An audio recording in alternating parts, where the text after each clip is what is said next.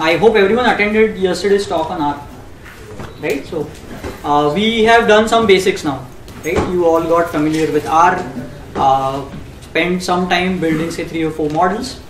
Uh, this talk again focused on machine learning, uh, but the idea is that yesterday we covered a breadth of machine learning, right? We uh, dwelled into multiple models. Uh, this time we will do sort of a depth, right? So we go from both perspectives. Uh, second, uh, yesterday we focused mainly on classification models. Uh, I'll try to see if, uh, apart from classification, we can cover some unsupervised material today, right? It's, it's also important to have uh, that worldview also. Third, why is this focused on Python? It's nothing, you know, there's nothing there to compare between Python and R. Both are great tools. I happen to use R and Python every day in my work. It's just to give you a wider set of options, right? It's so you find R bit uncomfortable to use. Here is another tool, Python. Just see if that is helpful, right? So the idea is to not focus on tools. We'll focus on the concepts, and tools are just the means to get there, right? So uh, with this thought, uh, let me begin. Uh, by the way, people on this side, is this visible to you, or you may want to share?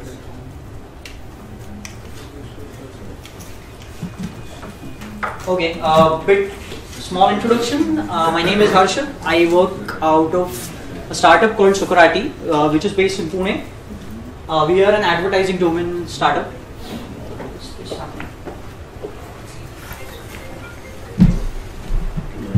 Okay, and uh, so being an advertising company, we keep on getting a lot of clickstream and impression level data, and my job there is to make sense out of this data. Uh, so we have done introductions yesterday. I wouldn't spend time on that. Okay, so let's let's get on. Okay, uh, so uh, if you think about the whole agenda of the workshops and the conference, uh, the idea is something similar to this. Yeah. Uh, so machine learning or analytics world, uh, overall, if you look at the big picture, there are these different ideas, right? There are these mathematical tools, uh, sorry, there are these mathematical models, the theory, then there are these tools, then there is the business knowledge. The idea is it's not enough to have knowledge of only one part of it, right? It's, it's more like an orchestra. You need to know, be a jack of all trades there. Uh, so, one is the science part of machine learning, right? So, when you say that a library is fitting a logistic regression model what is the library doing exactly right? Knowing that is important. That is the science part of machine learning. Second is the process. If you are given a business problem with a lot of data thrown at you how do you begin? And how do you go to making a usable solution out of it?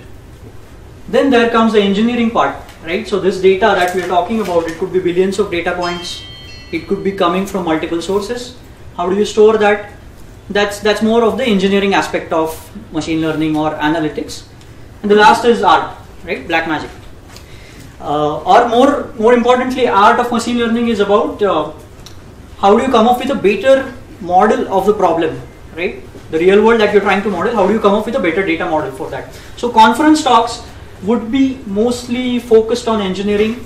Uh, the end talk right? Don't miss out on that. Uh, so Shailesh sir is going to talking about uh, art of machine learning. Uh, yesterday's talk on R, I think we covered a lot on science part. Okay, so today what we are going to do is we are going to focus on process of machine learning. Now, process sounds a very bureaucratic word, and as as a community we would hate uh, problems. So, what is this process of machine learning? Uh, we are going to take a real world challenging problem, not a toy data set uh, we'll, we'll spend some time on the science and the tools, uh, use some intuition. Uh, so I'm taking a problem which will be very simple for everyone to understand and then see if we can create a usable solution out of it. Right? So that is process of machine learning. Uh, so what is this process that we are speaking about, right? So imagine this case that you are working for an organization and they throw a data set at you uh, which says that hey, uh, we've done some telemarketing exercise six months back, and here are a bunch of data points from that exercise. Okay, and that marketing campaign was somewhat successful, but can you tell us something more? What should we do better next time? Right? Can you do something using machine learning to tell us uh, a better way to do our marketing campaigns? Right? Very simple problem applied, you know, applicable to all domains. So now, if as a data scientist, someone throws this kind of question at you, you would have a flurry of questions in your mind, right? Where do I start? That's that's the biggest problem. What kind of models am I supposed to use? The data that is being provided to me, is it too small? Is it too large? How do I even know what is useful or what is enough size of that data set, right? So process is a somewhat scientific way of understanding and answering these questions and going to a usable solution, right? So these are more uh, derived uh, out of the experience of community. If I don't know if you have uh, heard of these uh, non-open source tools like SAS and Stata, uh, which are again used in analytics community, they they uh, tend to have some notion associated with this pro process called as CRISP-DM and there, there, there is bunch of terminology associated with that. But the basic idea is you, you need to have a well-defined process of going starting from a data set and going to a solution, right? So that is what we are going to focus on today. Science is covered and art and engineering, I hope the conference talks are going to cover that. Okay, uh, so when we go to a typical uh, machine learning or analytics problem process, uh, these are these are the steps that invariably we would go through. One is we start off with defining what is it that we want to achieve, right? Defining the objective. We need to get data, right? We need to get a lot of data. Uh, the next part is called exploratory analysis, where we try to get familiar with the data, try to understand what is being thrown at us. Uh, then we come to the meaty part, which is the modeling of that data. Here, all the science of machine learning comes into picture. We need to evaluate the model. It's it's not just enough to throw data into a library, build some model and just get on with it, right? We need to see actually whether the model that we have built, is it good enough, right? That is the evaluation part. And what I've observed from my experience is, after evaluation, you always have to go back, right? There is, it's an iterative process. It's highly unlikely, in fact, it's impossible that you'd get to a great working solution in the first attempt, right? We'll, we'll need to keep on iterating uh, and tweak our model, tweak our parameters, come up with more features, go back and say after three or four iterations, hopefully we'll come to a usable solution. And the, and the next part is we need to keep on validating. If you build a model today, because the world outside is changing so fast, uh, you need to constantly keep on evaluating your model with newer data. And the moment you feel that it is not doing the work that it was supposed to do, we need to go back to the iteration again, right? So uh, in this talk, we'll talk about objective setting very briefly. Uh, mostly, I'll be focusing on exploration, modeling, evaluation, and iteration. Uh, get data is not covered here, right? Because one, it is too diverse a problem. It really depends on the application domain in which you're working. How is your organization storing the data? Nonetheless, I have another talk in a conference uh, tomorrow afternoon. So if some of you are interested, do join for that talk where I'll spend some time on how do you get the data in shape, right? So that's for tomorrow. Okay, uh, so now let's start with the hands-on, right? So today I'm not going to spend too much time on the uh, discussion. Uh, we had a lot of it, very interesting yesterday. So let's get on with the hands-on. Uh, we need this particular data set called marketing campaign data. How many of you don't have it? Just raise your hands. Bankful CSV, right? So if a couple of you are not having this data set, one is a GitHub repo. Uh, those who are familiar with Git, you can fork this repo.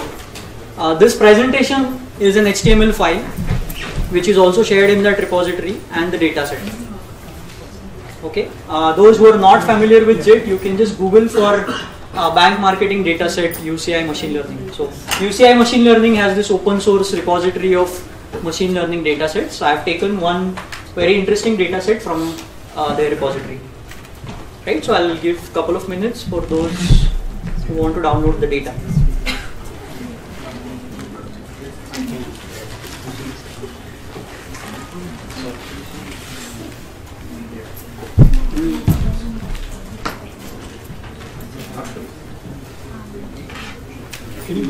Yeah.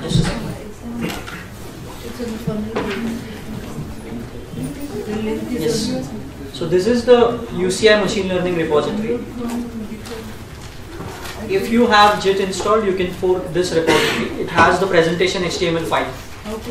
So those who are familiar with Git, I'll urge you to do this. Uh, that will save you some time of copy pasting the code. Or that will save you the time of typing the code. You can just copy paste that code on Python console. Alright, and just keep this link handy even after the workshop if you want to go back to some material or if you're not able to follow along, if you get missed out on some commands, the whole presentation is there with all the code. So you can keep going back to it. If you find some errors or if you find some better insights, do point it out. I'll, I'll incorporate that. Alright?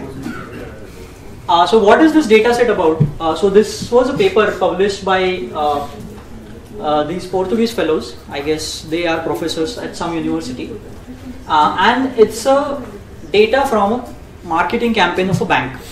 Okay, what they tried to do is they tried to sell a deposit or a fixed deposit product to their customers and through telemarketing and the data that was gathered is they massaged that data a bit and that is you know uh, open sourced uh, it's a very popular business problem A lot of marketing companies. Uh, so this can be fitted to a lot of uh, marketing business problems that uh, you face. Can we move on? You have all the data? Yeah? Alright. So uh, let's begin with the hands-on. So whenever we get a data, the first thing that we need to do is read the data, right? So whatever tool that we are using, it could be R, Python, or some other fancy thing out there. Uh, so what I'm doing here is NumPy is a package for n-dimensional arrays in Python. Pandas is a package which gives you a data frame functionality. So we must have worked with data frame yesterday on R. So Pandas lets you use data frames within Python. Okay, so I'm importing these two packages giving them an alias so that it's easy to refer. Uh, here what I'm doing is I'm setting up the path to my bank file. Alright, so you could have this somewhere in your downloads location on your desktop. Just set up the correct path. This line is important. What I'm doing is I'm taking. should we write? Uh, you fire up your Python console. So if you are on Windows, open your Python. There will be some .exe if you are on Linux, go to terminal and type Python. So in the terminal we will Yes, type- yes, yes. How do you know the current working directory? How do you know the current working directory in Python? I guess there will be some command. Not, not sure. Command line we use. So, so if I have to. No, no. So basically, what I'm saying is, just set the path of your file here in this link. Okay. To know the current directory, we'll have to import couple of more packages in Python and then set that. This is an easier way to do it, I guess. This is the OS that gets you. Yeah. Uh, this which file? Which one is it? So there is this file called bank hyphen full No, dot. the bank is the nothing that what is in the which file in your GitHub? So there is an HTML file called presentation.html. Okay. You can open it in your own browser and so In the this pandas, it gives you an error saying no module name date util.exe. Yeah, I'm getting the same for Panda. You need to insert ATD first. is that so? Yeah. Not sure. Just just try running this. See if or you're not able to import that at all. Uh, no, no, only for date utils it gave an error. I think it should be fine. I don't think we are using date anywhere. So Is it Python 2.7 or Python? 2.6. I'm using 2.7. Yes. Open the HTML in the presentation. Just open it in your browser. It seems to just show up with text. That's why. So there is a theme folder in the GitHub repo which contains the CSS Yeah, and the JavaScript. You need to download that folder as well. Alright, uh, so everyone here?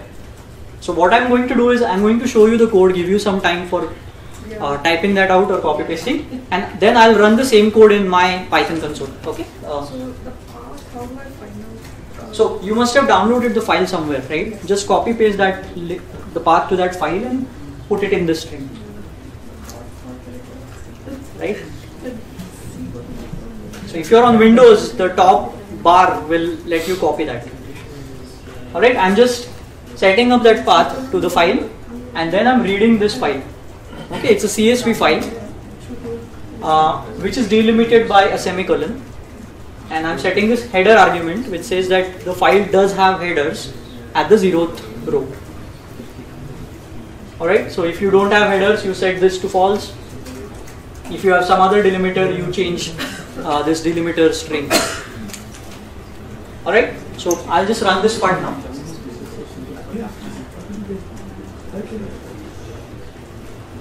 I'm getting an error, no columns to pass from file. Line seven error.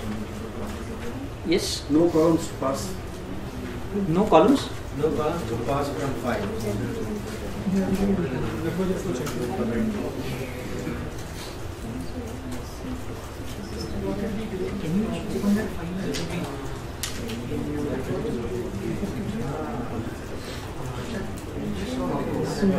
So you need to download the theme folder. I found the full. Yes, just open it in your browser. Then what will you do? So the theme folder will be copied along with the presentation.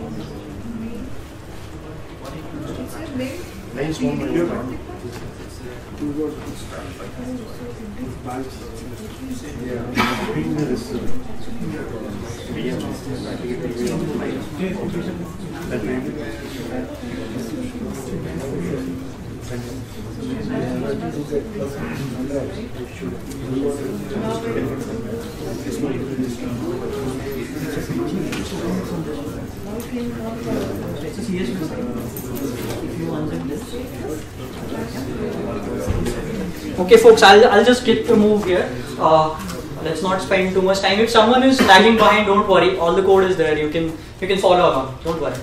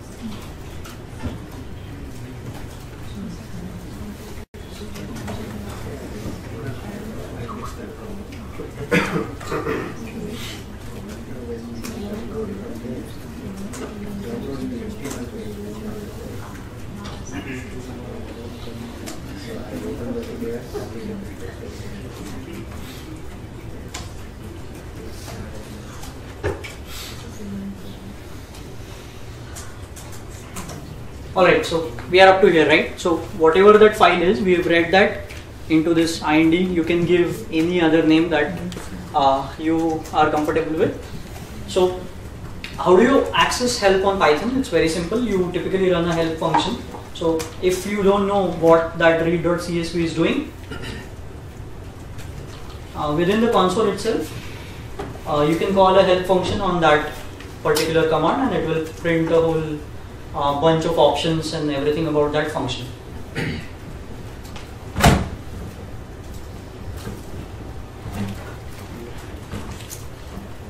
Alright, so the moment we have read a data, uh, the next thing that Uh, the bike with the registration number ending with 8414 in your yours.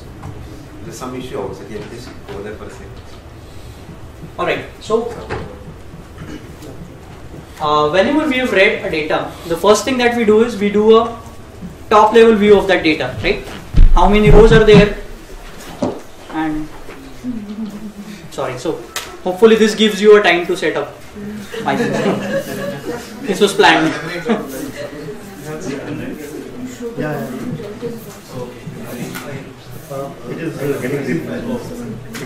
Otherwise, Alright, any questions? Just we can use this time. Pa- Pandas is a package for? No, no, Pandas is a general purpose analytics package. So what it lets you do is you can read table as a data frame and then keep on uh, subsetting that calculate information. Yes, yes, it's very similar to R. So in fact, it is supposed to replace R on Python model. Any other?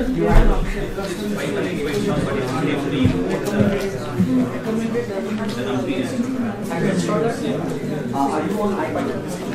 Python. That? No learning.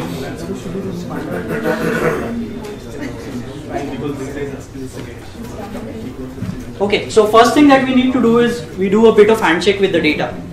Alright, we find out how many uh, rows and columns are there in the data set, uh, what are the column names, what are the data types of each columns, right? So uh, we break that in this IND. So if you run the shape uh, argument of that object, uh, it says that there are 45,000 rows and there are 17 columns in this data. Okay. Uh, if you print the columns, uh, you would get to know something about this data set. What they are saying is uh, there are these uh, demographic kind of variables like education, marital status, job, age. Then there are these bunch of others, and there is this one called Y. This is something that we are interested in predicting. Okay. So we said that it's a marketing campaign. This Y variable says whether the customer responded to the campaign or not. Alright, so uh, next step uh, after we have read the data is probably we want to get familiar with the outcome variable first. Uh, by the way, one tip is uh, so whenever you read this shape argument, right, the first thing that you should be thinking about is how many rows do I have, how many columns do I have. Alright, so if you end up with a file with say only 100 variables and 100 rows in that, probably for a real world problem it's too small. Or say the number of columns are more than the number of rows.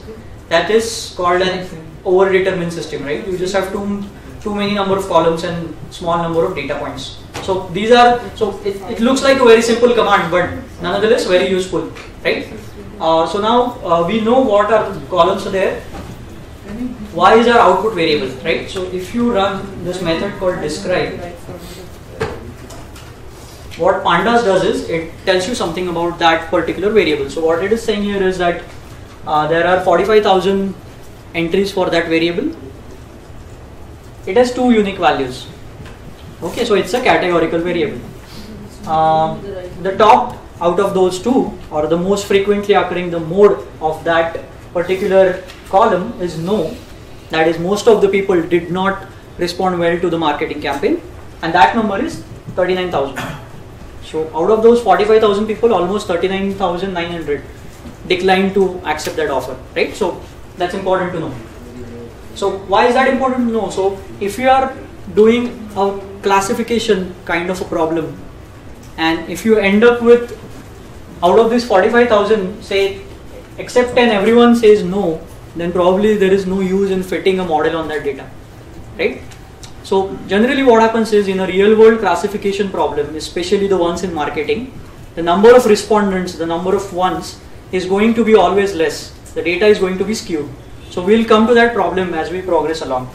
So once we've run uh, this describe command, if you just want to know the unique values, here we just have two unique values, but if there are more, uh, you can call this unique method. It tells you that there are two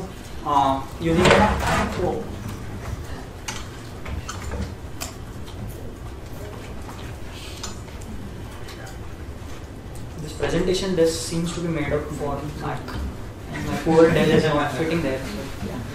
Uh, so we have these unique values. After unique values, if you want to know the count of the number of entries by each unique level in a categorical variable, you run a method called as value counts. Don't worry about by hearting these methods. It's just important to know what is the sequence that you are following. Right? So we are at the top level, we are trying to gather top level information about the data. Now we have drilled down to the outcome variable. So now it says that hey, uh, uh, there are 5,200 people who responded. That's that's a good number. We can at least uh, start, or we can at least attempt to build a model on top of this. All right. So the is, so the first it and then int64. It's only for for the- That's a very good question. So he says that if I do a d type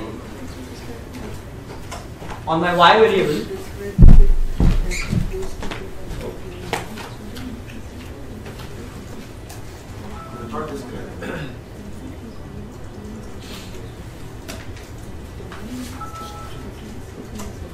here it says that the d type is object. Uh, but when I'm running my unique count or something, here it says integer. So basically this value count itself is another object which is just printing numbers. So this int64 is the data type of that object which was printed. Yeah. Okay, uh, just a small question. So, if I'm doing ind dot uh, describe, Yes. so then uh, it's throwing out data in a different format Is that so? Just check that. and not all the. So IND is a data frame. Yeah. Okay. That's good actually. So what it is doing is IND is a table, right, which has number of columns in it. So what it has done is it has printed the describe command output on every column, or at least the ones which are numeric. Yeah, so I got that. So, so what I wanted to ask is, so once you say INDY, it's not a data frame anymore. No, it's a series. So It's a series of numbers. Yes. Which is why it's okay. so basically you can think of a data frame as a heterogeneous collection of arrays, right? So when you access the Y individual column, it's just an array of numbers or array of strings. And IND is something that is holding up all those this heterogeneous collection of arrays together. Yeah, I understand that. I mean, uh, okay. And but it's not. This is also not displaying uh, Y. Yes, because it's categorical, right? So but we can individually access that.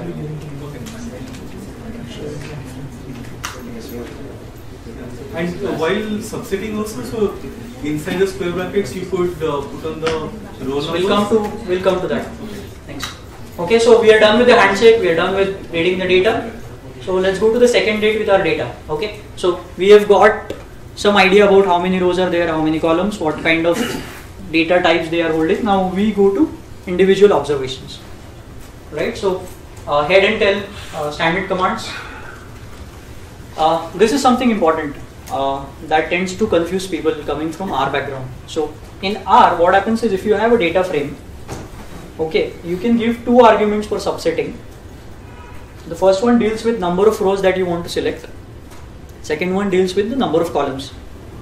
But I think Pandas does something different. So if I use this kind of subsetting, what it is saying is starting from row number 1 up to 10. This is not right inclusive, so it will not show the 10th row from this data set, print that. Okay. So this is similar to R, but for columns, you need to do something different. Uh, it starts from zero now.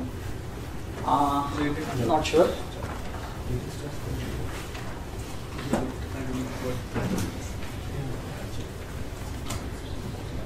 No. It starts from one.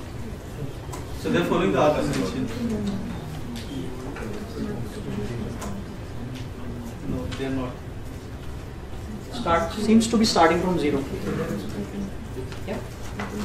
Uh, so if you want to just check the first, sorry, first say First 10, so I should 0 to 10.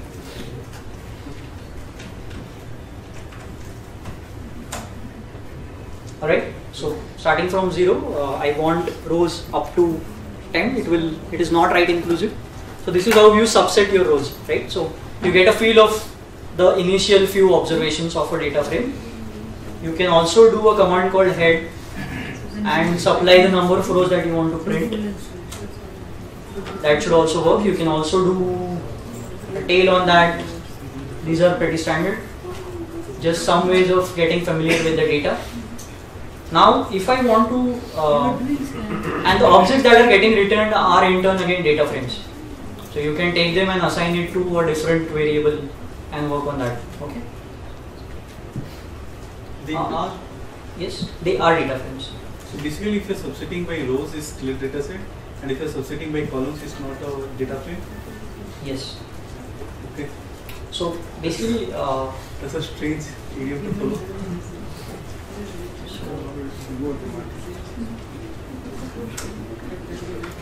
sorry, this should type. So this is a data frame again. So I'll, I'll come to the column subsetting part now. So here we said that I want number of rows. You invoke something called dot .ix, which is a format for subsetting rows as well as columns. So now if I want to say print up to the first five rows, and I want to print say only the second column. Something like that should work. Alright? So this is what I was saying is different from R. In R I don't think you need that IX thing. You can um, so this number of column selection will work on the column side also. I can say give me starting from 1 up to 5 except 5 and because these columns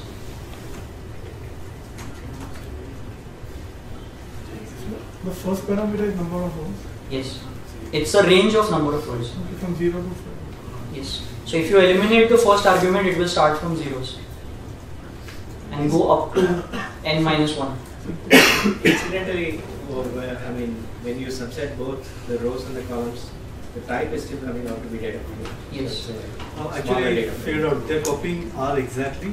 So if your if your subset is a linear is a single list, then it loses all the data frame information and becomes a series. So even if it is just one row or just one column, it's not a data frame anymore. But if you are if you are extracting two columns or two this rows, is what you're talking about uh, so just set selecting one column yeah, selecting one column. This should be a series I think this should be a series. yes so series is a single array Yeah, single column, single So row is vector a basically. array. Otherwise, it's still a data frame. Yes. Uh, so uh, we were, huh. So now, uh, because the columns are named, you can also give a list of columns that you want to select.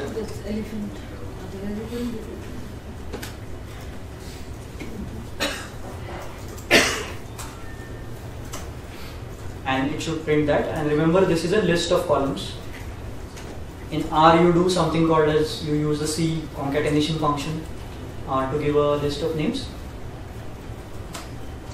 Alright, so we've got So all- using me- this method, we can actually change the order of the columns as well, right? no, it's, it's kind of immutable. It is returning another data frame. Yeah. It's not touching the original one. Yeah, it's not, but in the return data frame, the order Yes, is changed. yes, yes. You can give any order that you want. Alright, In columns, you specify as a range columns can be specified as a range. instead of So yes, so that's what we did a couple of minutes back. so here I can specify something like this. Alright, but probably using them with a name is a good idea, right? We are always clear about what we are doing when Can we leave out that colon file? It will give all the rows. What? Can you leave out the? Yes, one? if you leave out the first argument, it will. So you don't have to leave out. You just have to specify an empty colon, colon with no other arguments on left and right. Okay, you can't just leave out with a comma like So instead of comma, you just keep a colon here, and then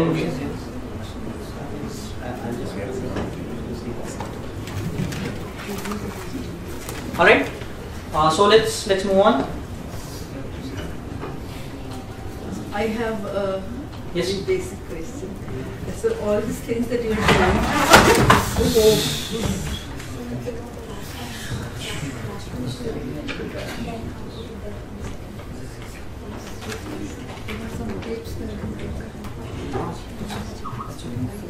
Yes. You need tape to, you, you want to put tape on it? No, I'll remove the mic. so sorry. Yes, someone had a question here. Yeah. So these things that you are showing, are you preparing the data set for further analysis? Yes. So basically, when you get a data set, you're not sure about what has been thrown at you, right? Might be pulled by someone else in your organization. Then it would be a good idea to at least understand how many rows do you have, what are the columns, what are the data types of that column. And subsetting, I'm just giving it as more uh, as a practice of working with uh, data frames in Python. So now we are just getting familiar with the data. Yes. we have not gone to machine learning yet, don't worry. Okay. Alright, so we have covered this part, right? So we uh, we have taken a look at what is the output variable looking like. Uh, now, if you have some numeric variables, uh, the good, the basic thing that you can do is you can try to summarize that, calculating the average, the median of that data, describe that. Okay. Uh, so we'll we'll try that now. So we have this variable called age. Alright, so the important part to know would be uh, what is the average age of the customers that we are looking at. Print something like, I would say 41 years. Median, median is a midpoint of your data. Median turns out to be around 39. Okay, if you run describe, it prints out few other uh, quantiles or some other percentiles of that data it prints out the standard deviation minimum maximum alright? So uh, if you think about it the minimum age is 18 and the maximum age is 95 slightly weird right? For a marketing campaign uh, calling out a 95 year old guy and asking him that you want to put a deposit for 10 years? I don't know if he'll be interested or not right? Uh, so okay. There is another uh, if we check the columns here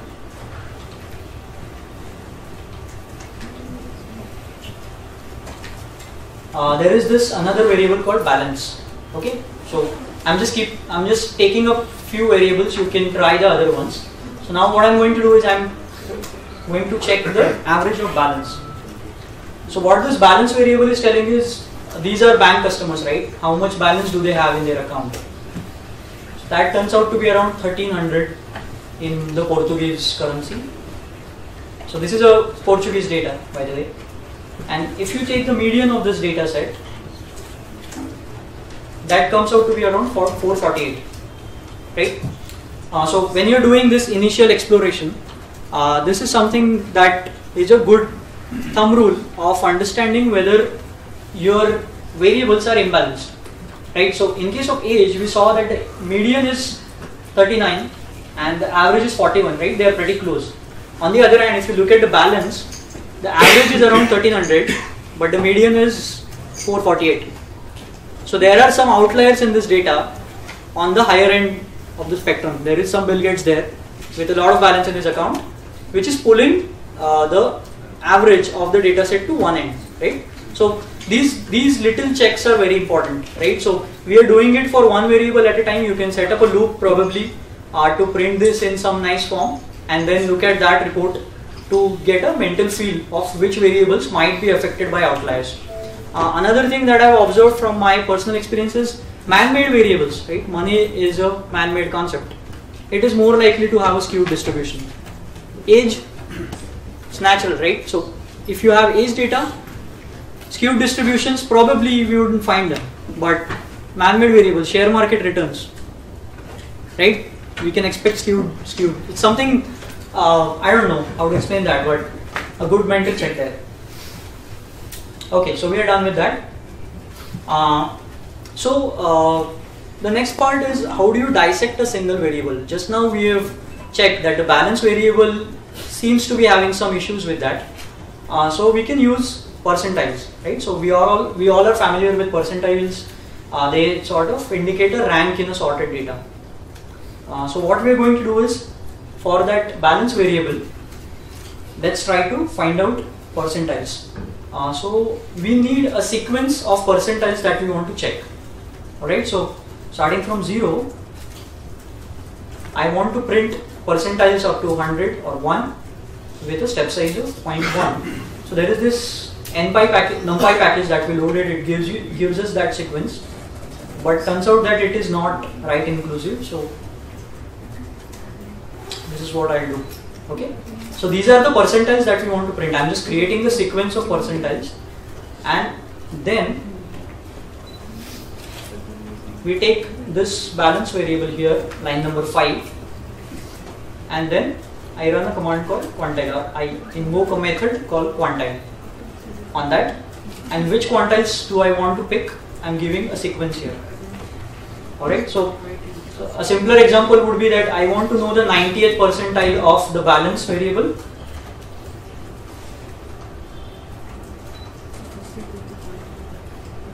you can invoke the quantile method with the required percentile. So 90th percentile of bank balance in this data is this. And if you want to print a range, which is something that we are trying to do here,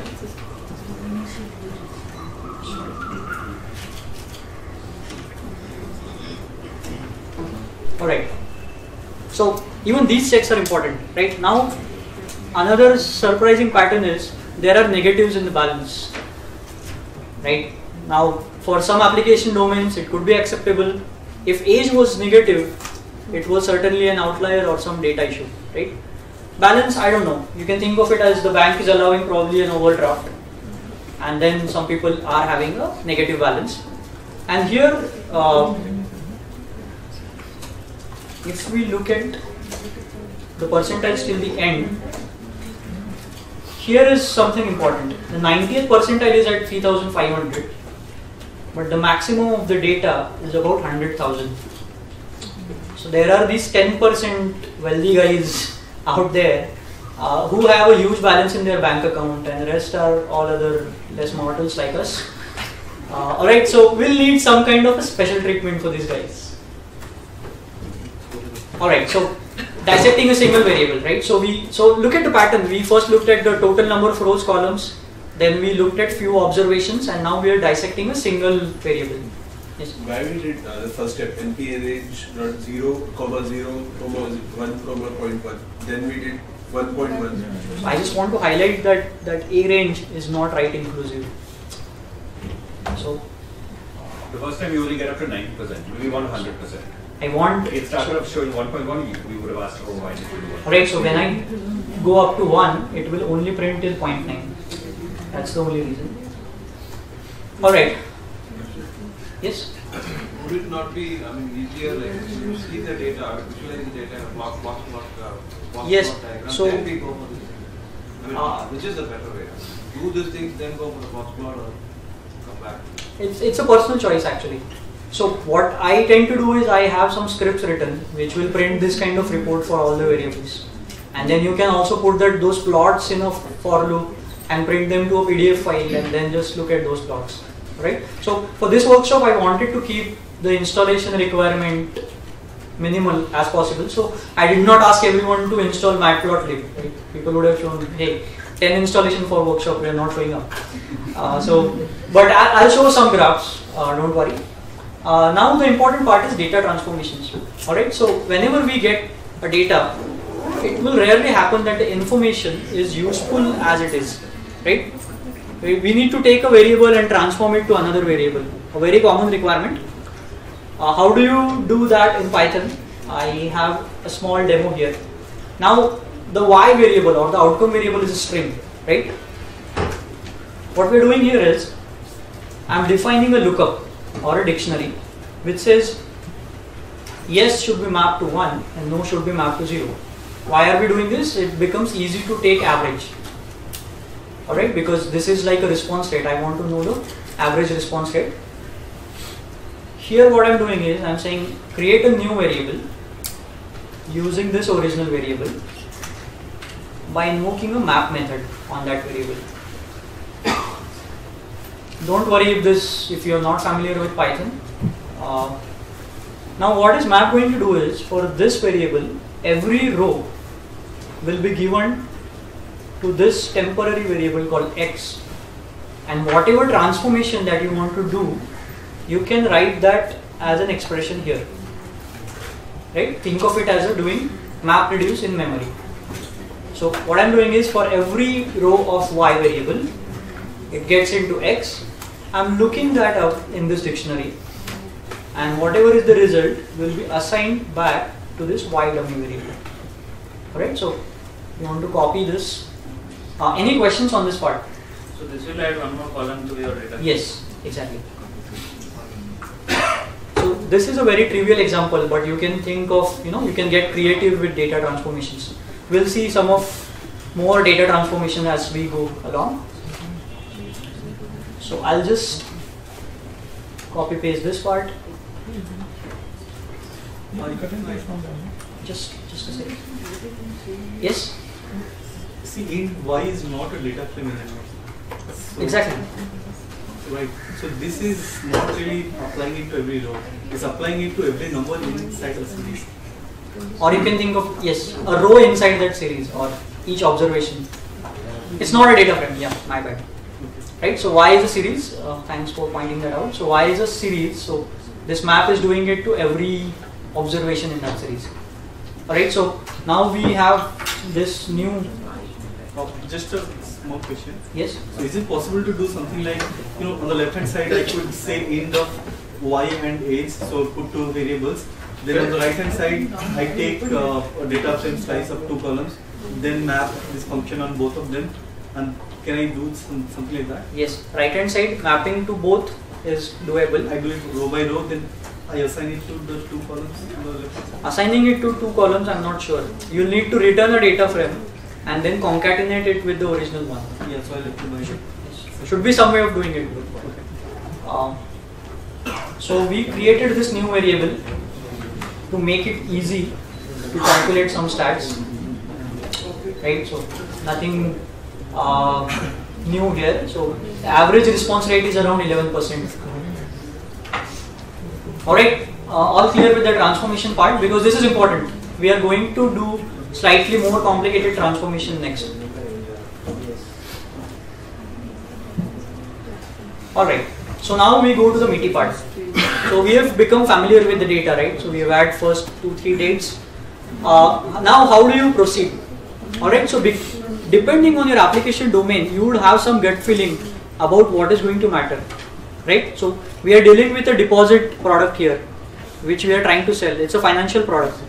If you think about it, deposits, who buys deposits, right? If I have a lot of idle cash in my bank account, I might want to park that in a deposit and earn higher interest on it.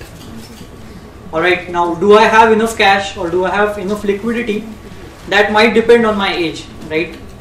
If, if I'm 40 year old, I might have already invested that money in tons of other instruments in real estate. So you might have a gut feeling that the demographics variable will matter, right? So that's a hypothesis that we would want to check. Marital status, does it matter? I don't know.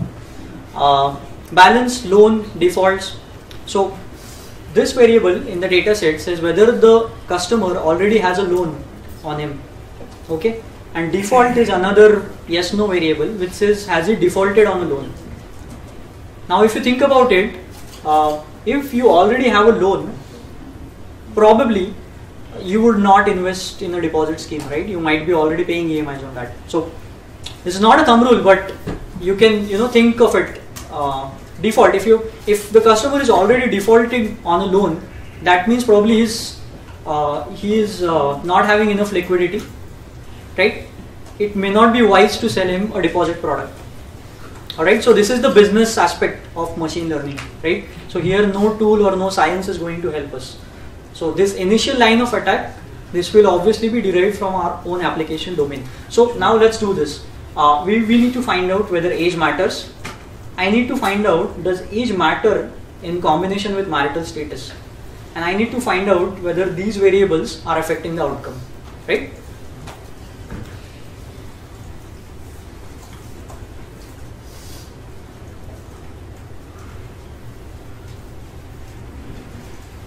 some issue here with the image but uh, nonetheless I'll uh, basically try to explain. So when you want to uh, find out these kind of things whether variable x is affecting variable y what you need to do is you need to take that variable y aggregate it by the levels of variable x right? That is the mental process that we tend to do.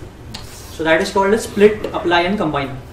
You split your y variable based on x now to every one of those chunks, uh, you apply some transformation and then you combine the resulting data set and then analyze that. Right? So that is the flow that we are going to do here.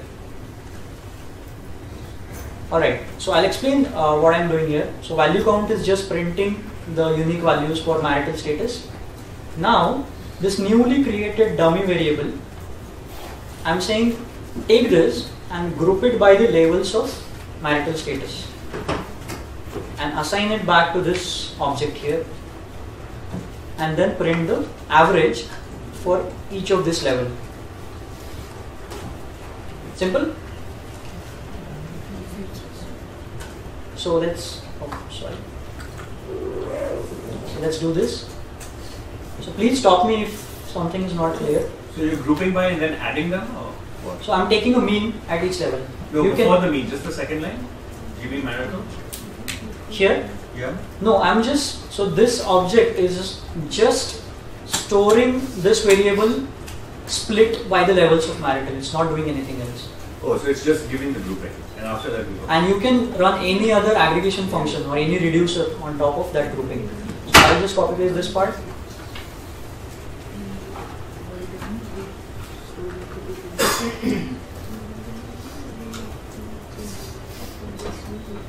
Alright, so now what we did, did is we grouped it by the marital status. So they have three different unique values for marital status. Apparently single people uh, are failing for their scheme for some reason. Uh, but this difference is not huge. So we knew that the average was around 11% and there is one group which is doing slightly better than the average. Alright? So that is uh, basically grouping and aggregation by a single variable. Now we can get creative. I'm saying I'll take age of a person and his marital status, combine them, then I'll group my outcome by both of these variables and then try to see if the averages differ. Right? This is very useful. So in your application domain you could get creative take a combination of three variables, four variables. So after three, I guess it becomes slightly unwieldy to uh, keep track of the results. Alright, so uh, and age groups, when I'm breaking down my age groups, what I'm doing is I'm not creating random groups. What I'm saying is take my age variable. There is this command called qcut, which is for quantile cutting.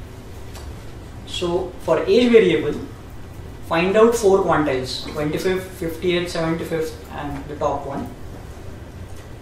And cut that variable and create a new variable called age bin and give give it these names right? It's not that difficult so let's just try out this part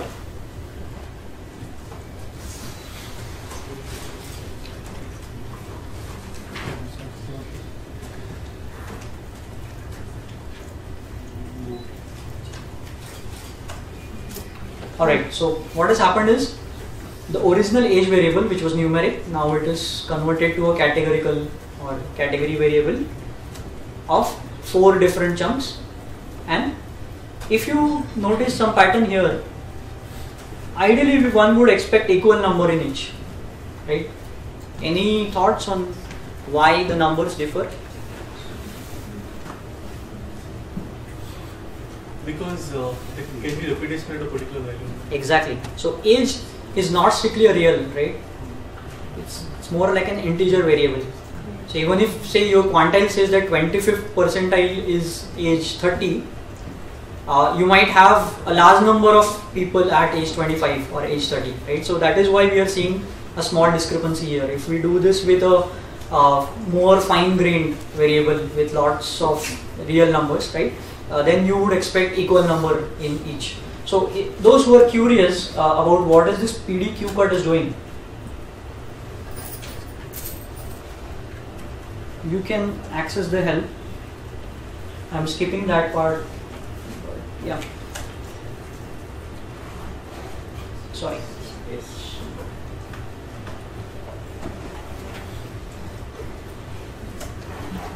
Alright, so it will print help says that quantile based discretization functions and blah blah blah. You can give a bunch of parameters to it.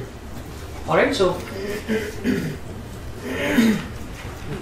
sorry, Yes. What, what exactly are you doing here? So uh, we have age, okay, which is a numeric variable which can take a large values from 18 to 95, and I, I also have marital status, which is taking three variables, three distinct values.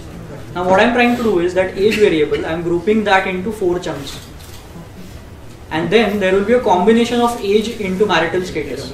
That will be what four into three, that is 12 levels, and then I'm seeing. So basically, the hypothesis is that people who are married and their age, if you take both that into consideration, then their financial priorities would be different, right? And that is why whether they'll respond to a deposit scheme or not is probably is going to matter. That is like a hypothesis which I which I want to test. So basically, exploratory analysis is all about uh, validating your gut feel, right? Whatever you think about your application domain, you just print this bunch of quick numbers and see whether that holds. Alright? So everyone up to here? Uh, so what we did? So we have already binned our age variable. Now I'm creating a new group by variable where I'm saying take the dummy and group it by a combination of marital state, uh, marital status as well as age.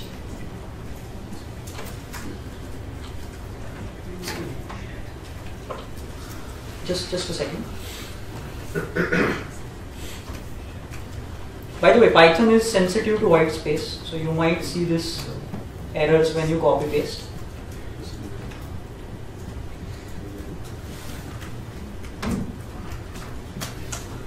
Yes, someone had a question here.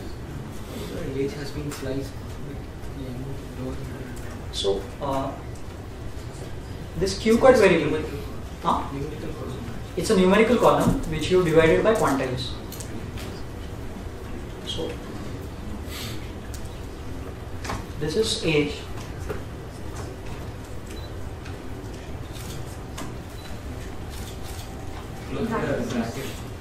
Oh, I'm so sorry. So what it has done is 25th, 50th, 75 in the max. Taken those as levels and then divided age into those four bins. Alright? Yes. Then I ran this other command which says create a new group by object with a combination of these two.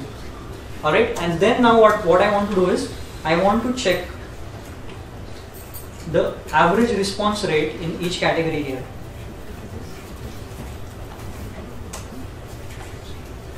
Print something like this. If you want to make it slightly easier to use, uh, you use another method called unstack. Alright, so here comes the meaty part. Young people who are single, the average response rate in their category is 17%.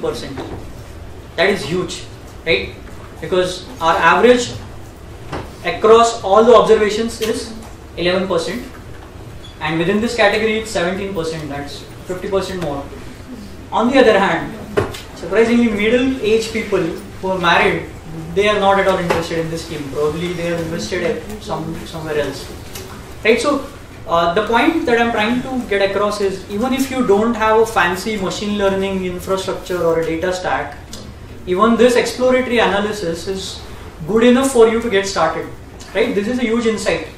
Without worrying about building a model, if you can just give this insight to your marketing uh, team, they can get started. Alright, they can just take their all all the customer data and just bin them into these groups and then they would know that the first thing that they should try is telemarket to these guys. Here you're having the highest rate of return and this one's probably should come last. Alright, so that is what I'm, I'm trying to uh, highlight here. Every phase of machine learning is important. Don't rush to the final phase of you know uh, building a fancy model. Alright, so we are done with grouping and aggregation outlier treatment. Uh, so we said that the balance variable seem to be having some issues, right? There are some wealthy people uh, out there. Uh, so we checked this quantile part.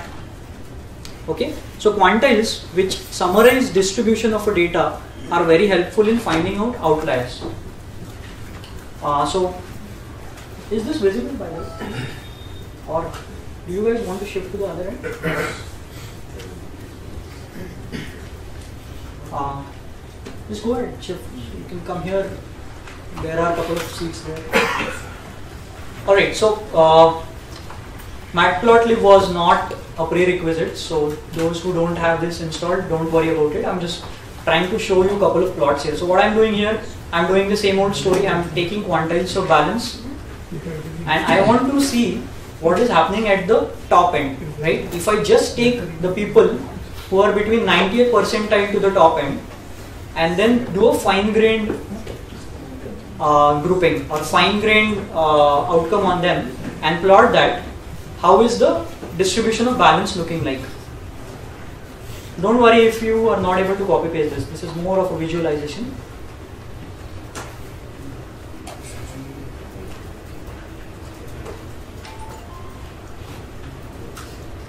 Harshad, for me, quantiles with uh, range inside is not working. It's giving a Value error. value error. I'll come to you. Let me just finish this one. Quantile split, So quantiles with uh, the 10p arrays inside it is not working. not working. Have you loaded NP? Yeah, I did. Yeah. I'll just check that. Yeah, sure. Uh, so, uh, so this is a plot uh, where from 19th percentile of the balance to the end of the spectrum, we have plotted the bank values. Now, what you can see is this is pretty smooth, and then I have a kink here, and the balance is shooting up.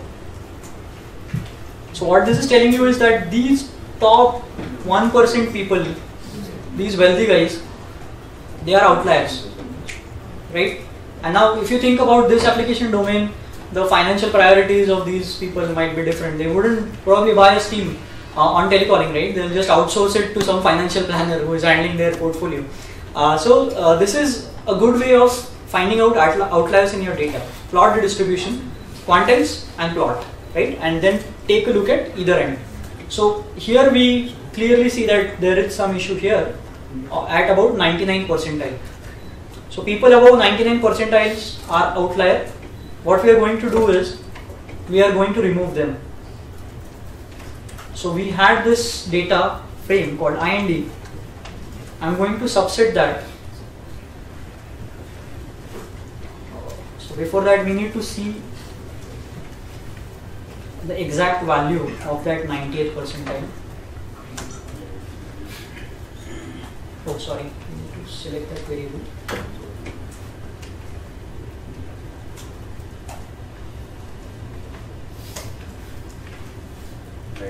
99. Yeah. So about 13,000 uh, units. Alright. So what we can say is that for this analysis, let's just filter out all people who have more than 13,000 in their balance. Sounds good? Uh, so the way to do that is pretty similar to what we did yesterday in R. You pick up that variable and then you give it an operator. Basically what we are saying is take this data frame and take this uh, another series of boolean objects. So basically when you run this, it is going to return a series of true and false and I'm just subsetting my data. Now we originally had about uh, 45,200 observations. We are left with about 44,000, right? But this is a good step. We have eliminated some outliers, right? They might have uh, influenced our outcome. So outlier treatment, very important. Uh, there is another thing called missing data strategies. It's not visible. Not covering that part. Uh, fortunately, this data turned out to be already massaged. It doesn't have many uh, missing observations. But in real world, I guess Bhargava covered this part, right? Uh, we can substitute by mean and median.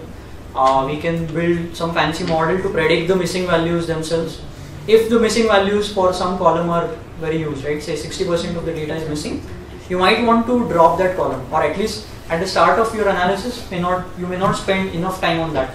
You can leave that for more advanced iterations. Uh, another uh, thing or another strategy could be you bin that variable and you keep missing as a separate bin. Alright, if you think that the variable is very important, uh, I don't want to drop that column, but it has a lot of missing values.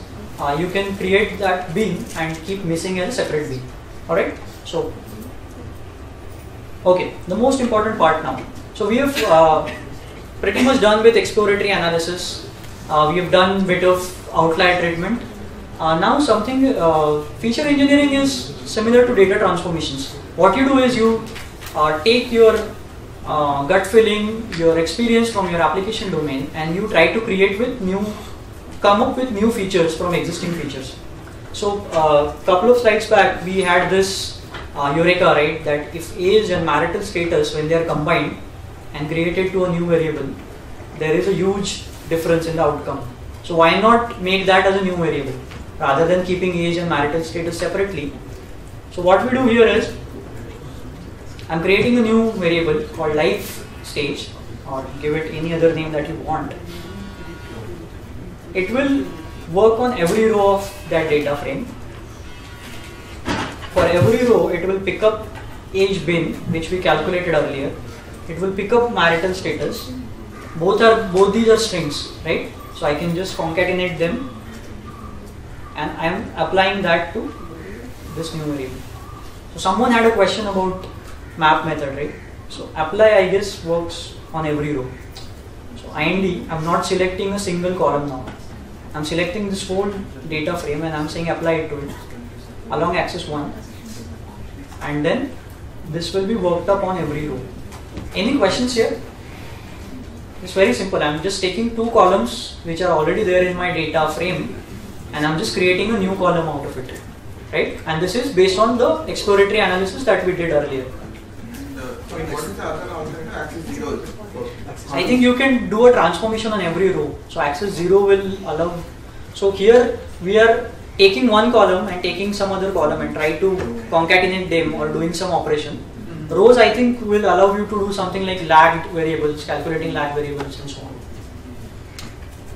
So axis 1 means column. Yes. So we are selecting columns here and doing some operation. So if you think about it, I'm not doing a- an explicit for loop here. I'm saying whatever I'm doing here, do it, do it for every row. I'm, I'm, I care only about specifying what I want to be done with the columns. Alright, so this is very simple. Uh, so this is just one example of feature engineering.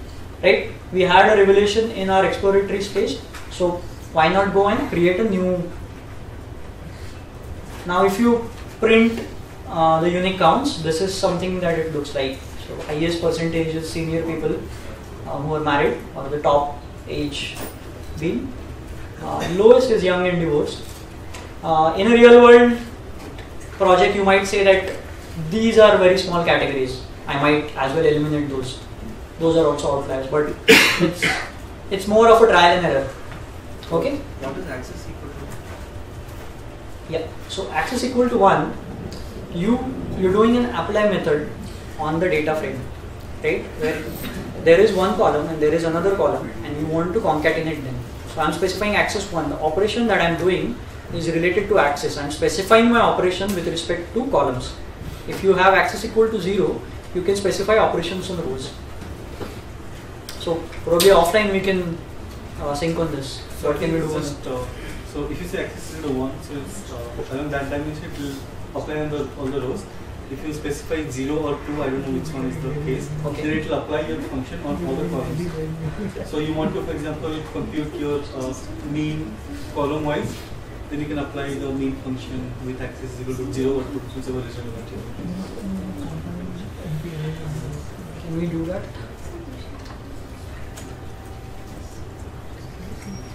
I'm not sure if this will work.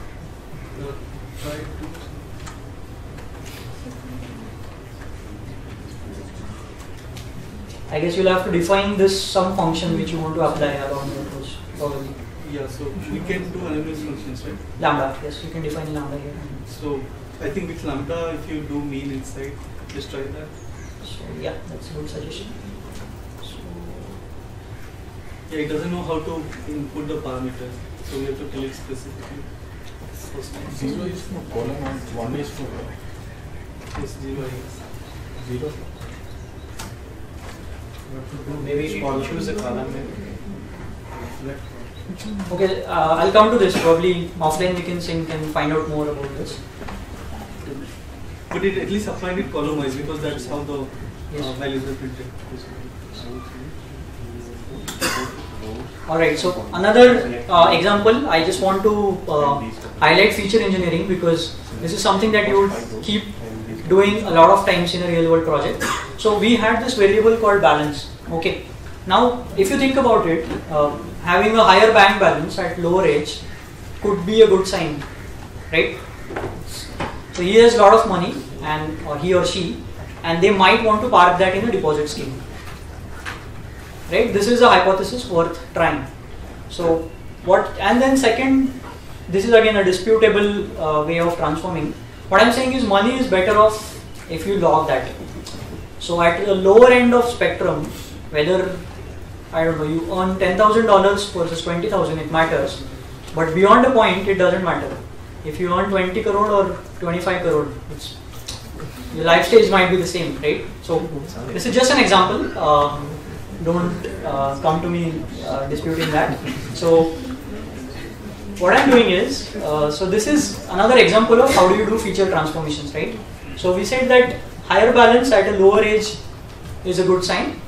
So what I can do is I can take my balance and divide by age, and that will give me a better variable, or that will give me a new variable, which I can use in my model rather than using balance and age individually. So we imagine the higher the value of this, the better chances we have. Right. So 18 year old with that 100,000 in his bank balance, he'll probably fall for that scheme, right? He has a lot of liquid money. But a 95 year old will say that, man, I just have this money with me. I, I don't want to in- invest in your scam, right?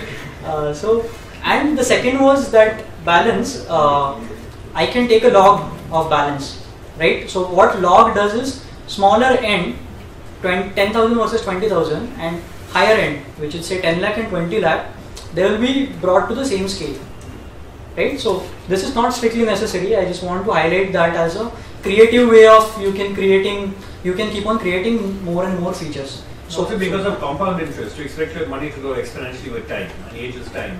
So you want to either exponentiate the age or log the money. Right. So you, what you've done makes sense. yes right so uh, so what i'm doing here is and the balance was negative by the way uh, so log is not defined for negative outcomes so what i'm doing is i'm just adding a high value here our minimum was around 8000 if you remember that describe that we ran so this will ensure that this balance is positive then taking a log of it dividing by h. Right? Don't worry too much about it but this is something that you should try. Right? So sometimes coming up with such creative features uh, uh, gives you a far better outcome than worrying about should you use neural network or logistic regression. Right?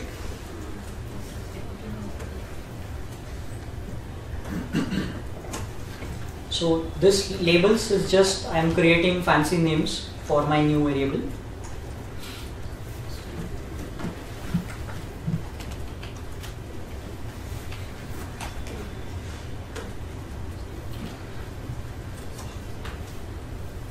So I'll explain this, don't worry.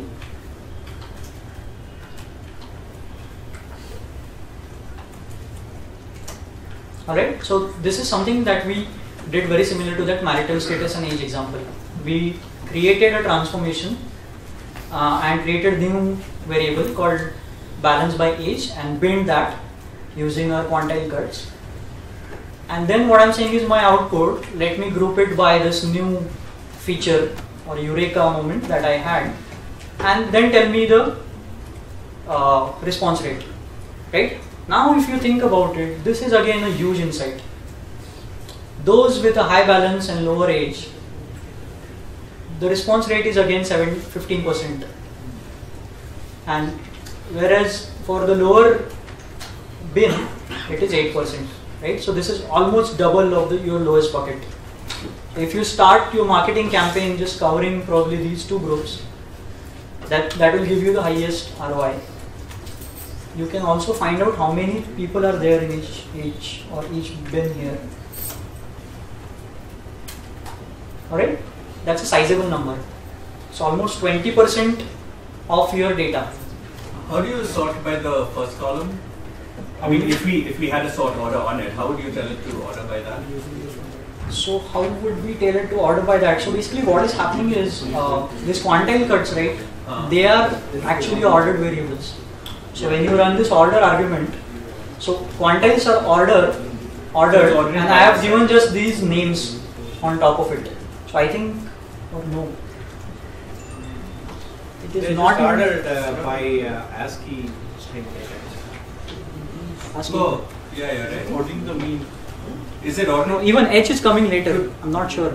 Oh, yeah, yeah, yeah, yeah. I'm sorry. I'll, I'll find. Ordering actually. It's ordered by the mean. Oh yeah, ordered by the value, value Okay. right side, yeah. Okay. Sorry. Sorry. It would be cool to see this ordered by the, you know, very low term. Yeah, that. Oh, very low is 14%. Yeah, that's what.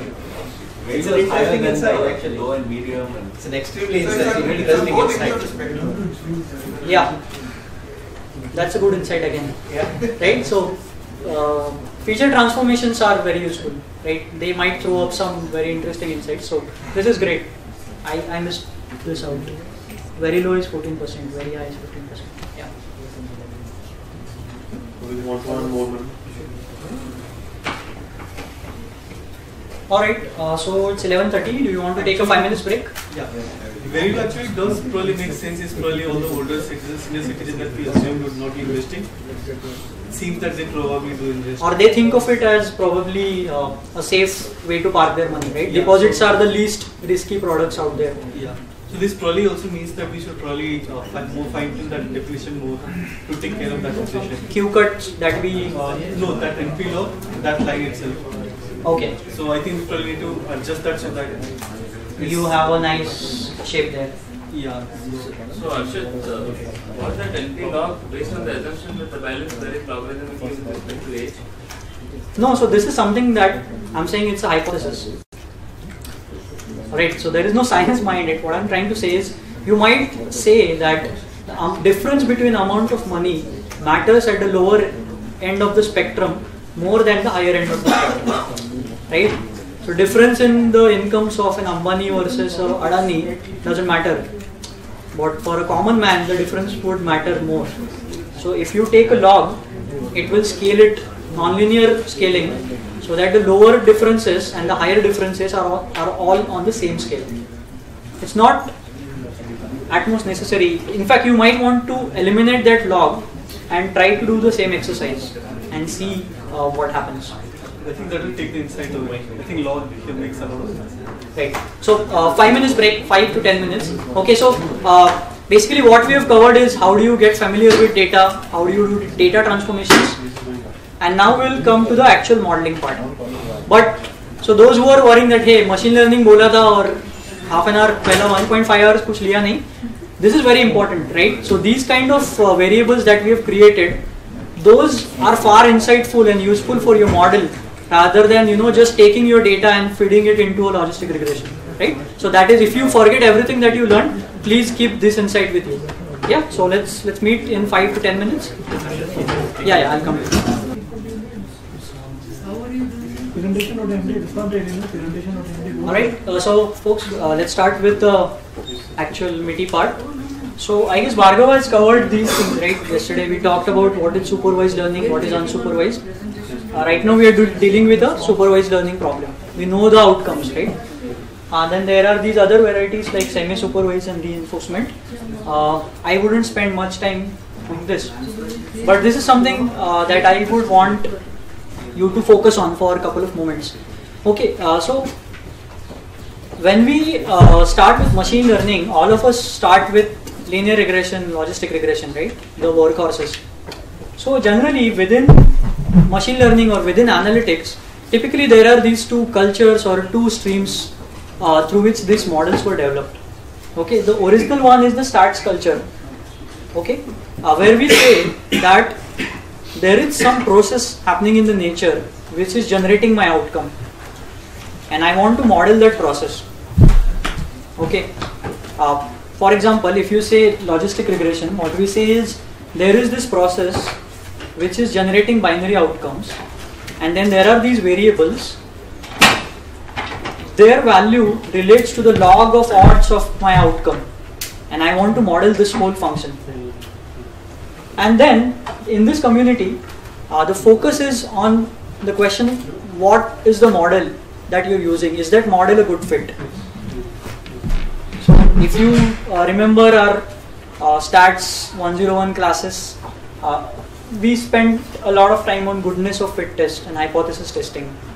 Even people who deal with uh, marketing sample samples uh, or say polling and election related data, uh, they, they tend to work in this domain, right? Regression models, survival analysis, which is very popular in insurance industry. All this is a good part which comes from the stats culture. But the important point is the focus is on why this model or what is the process that is generating the outcome. And the basic theory is coming from the stats world. On the other hand, this AI or ML culture, they take a different worldview. They say that I don't care what process is generating the outcome. For me, it's a black box, and my focusing, my focus is on getting good prediction. In fact, those coming purely from an ML culture, or those say who studied ML in their engineering or masters, they would have never heard of hypothesis testing or goodness of fit. There, the focus is more on cross validations, and these this is the typical jargon uh, from the AI world. Or the models like ensemble models, I'll, co- I'll cover those, tree-based model, neural networks, they all originated in uh, the ML community. If you think about it, we, we need both. Uh, how many of you have done the Coursera course on machine learning? Anyone here? Right, so there is few of you, right? So they say that hey, we are fitting this gradient descent for logistic regression, and here is my cost function. That's a good part, but how does that cost function come from? Right, so that cost function is nothing but a maximum likelihood estimation, which is derived out of this theory. So the point I'm trying to stress is these two communities are often at odds with each other, but for a practitioner, you should try to take best of both worlds. Alright, so uh, so now we are going to fit a model, and to this is like the last mile uh, before we actually go to the modeling part. Now we did create two of our own variables called life stage and this balance by age. And what I'm doing is there are these other four variables which I think might affect the outcome or which we might say that whether a person is already having a loan on him, does he default or does he own a house, what is his education. So let's try to fit a model using only these variables. Alright, so I could go the other way and I could just throw in all the possible variables, but that just makes it messy to analyze it. And even in a real world project, this might be a way that you follow. So even if you have say thousand variables in your data set, you might want to start your first model by using only those columns which you actually understand and try to establish a baseline of accuracy. And then maybe you keep on exploring the other columns, right? So that's like a practical tip. So here, uh, very simple, but this part of the code looks slightly complicated for those who didn't come from the Python background. So I'll explain this and then you can copy paste. So what I'm doing is, I'm taking this original data frame and from that data frame I'm only selecting these columns, assigning it back to another data frame here. Right here, instead of doing this, you can use that dot ix part that we used earlier for column subsetting and I have this new data frame which are all my features that I'm going to use. Uh, oh, I'm sorry. Uh, there is some issue here.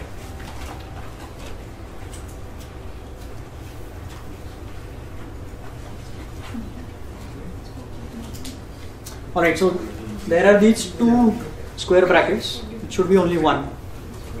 Right, so this is just the names of the variables, feature names. This should be a series, right? I mean, this should be a array or whatever. So I guess that's why the two. Yeah, I'm, I'm slightly doubtful about this. So just try both this. If you get an error, just run with two or one. Okay. So the point is, I'm trying to only select few variables. Now here, what I want to do is, these variables are categorical, right? They take a finite number of values. Now the library sklearn or scikit that we want to use for fitting our models, it wants every variable. Uh, it doesn't accept this uh, categorical variables. So R by default supports factors. Right, Bhargava mentioned that yesterday. But here what we want to do is, suppose if there is a variable which takes five values, I want to instead create four binary variables out of it. Right, so housing takes two values, yes and no.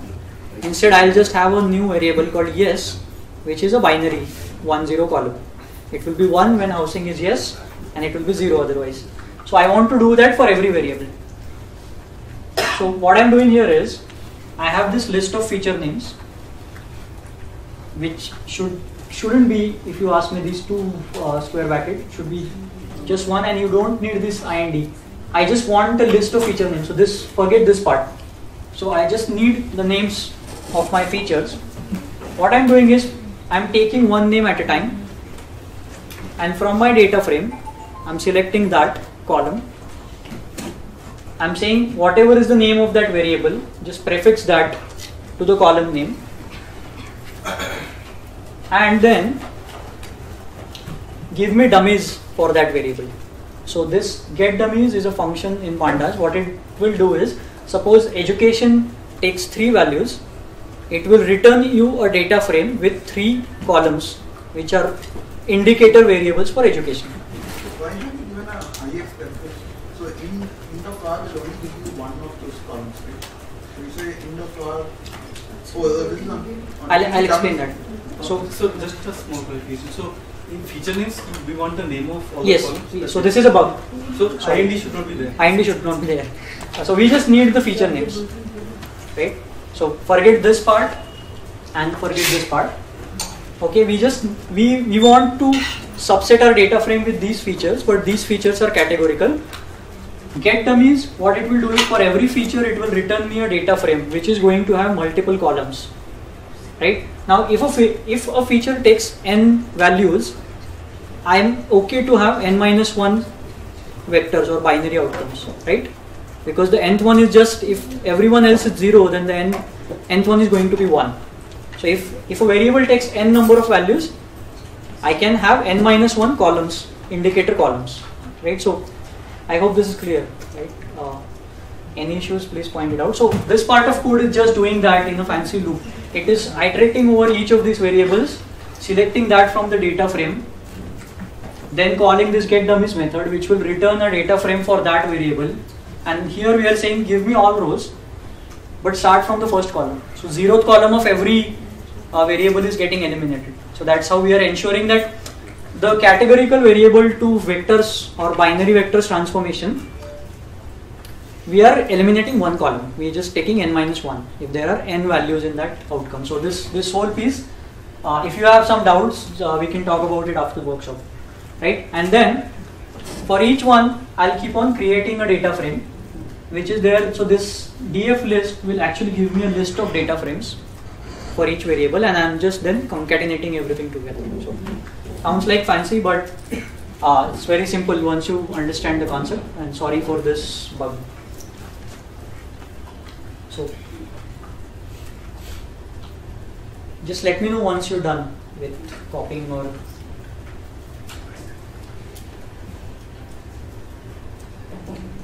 so I'll, run it in, yes uh, no, can run it? yeah, yeah sure so what I'm going to do is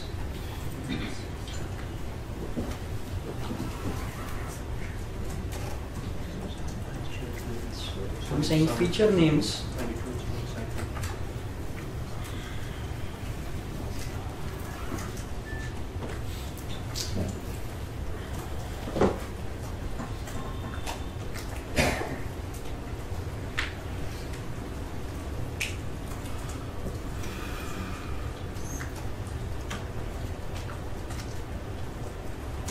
Feature names is just a list of names I'm creating another list.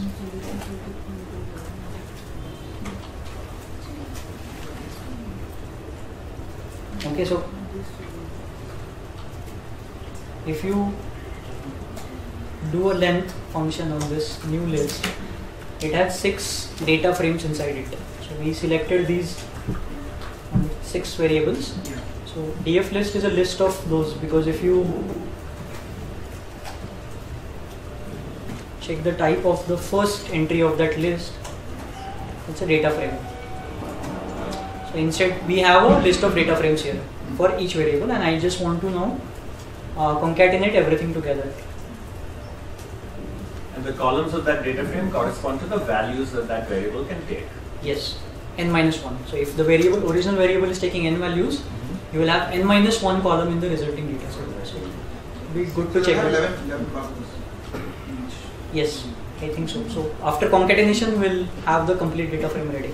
No, uh, so even the first DF list is having 11 columns. Right. So Dot shape. right. So why is that? Because if we take the first variable, which is live stage, and run a value count on this,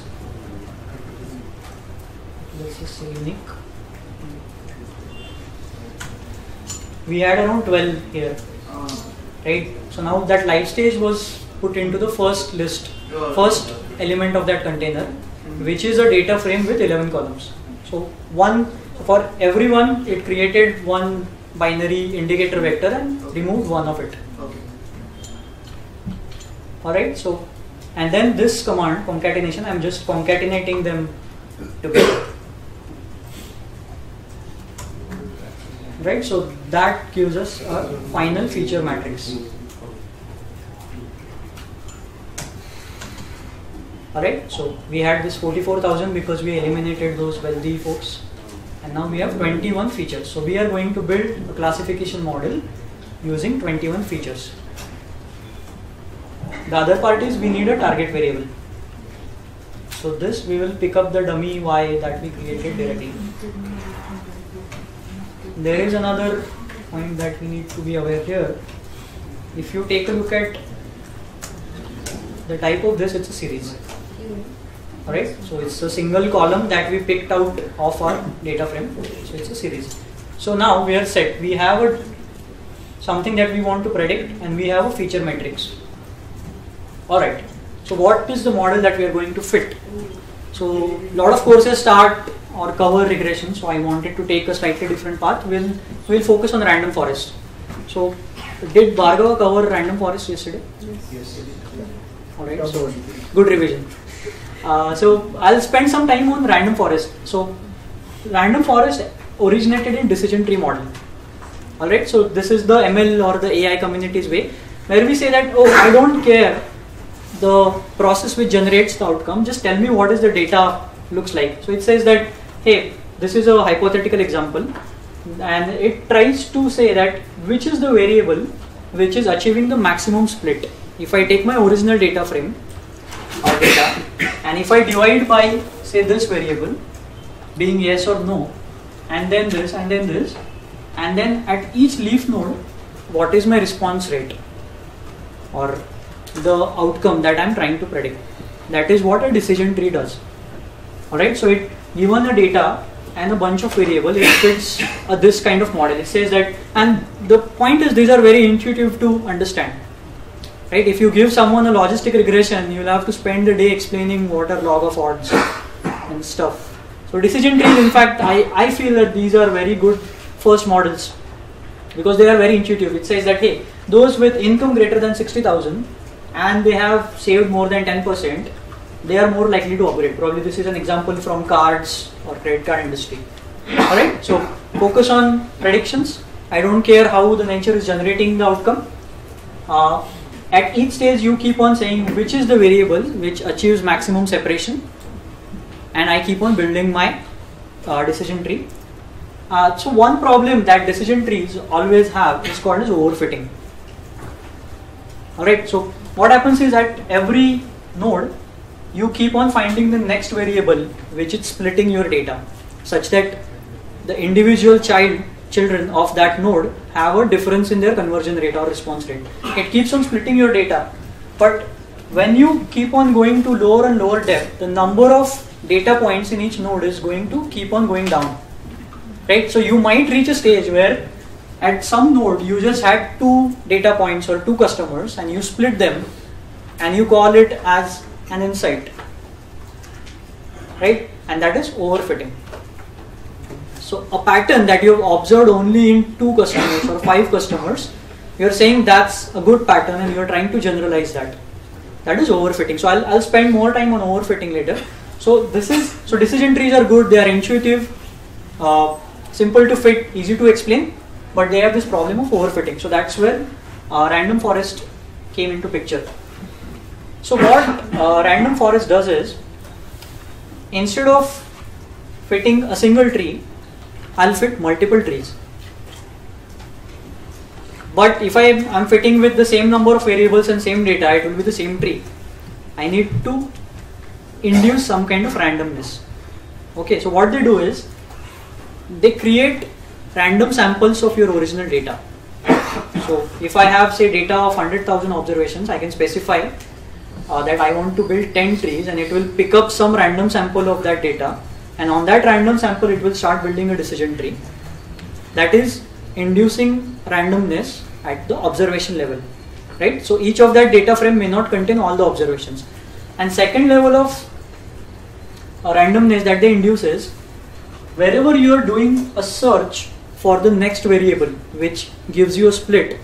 They don't allow you that search on all the features. What they say is that if i have 20 variables or 20 features in my data i'll only allow you to search on 10 okay so now why is this useful? So uh, i'll give you an example. Uh, you want you ask a question to your friend that hey do you think i'll like the movie titanic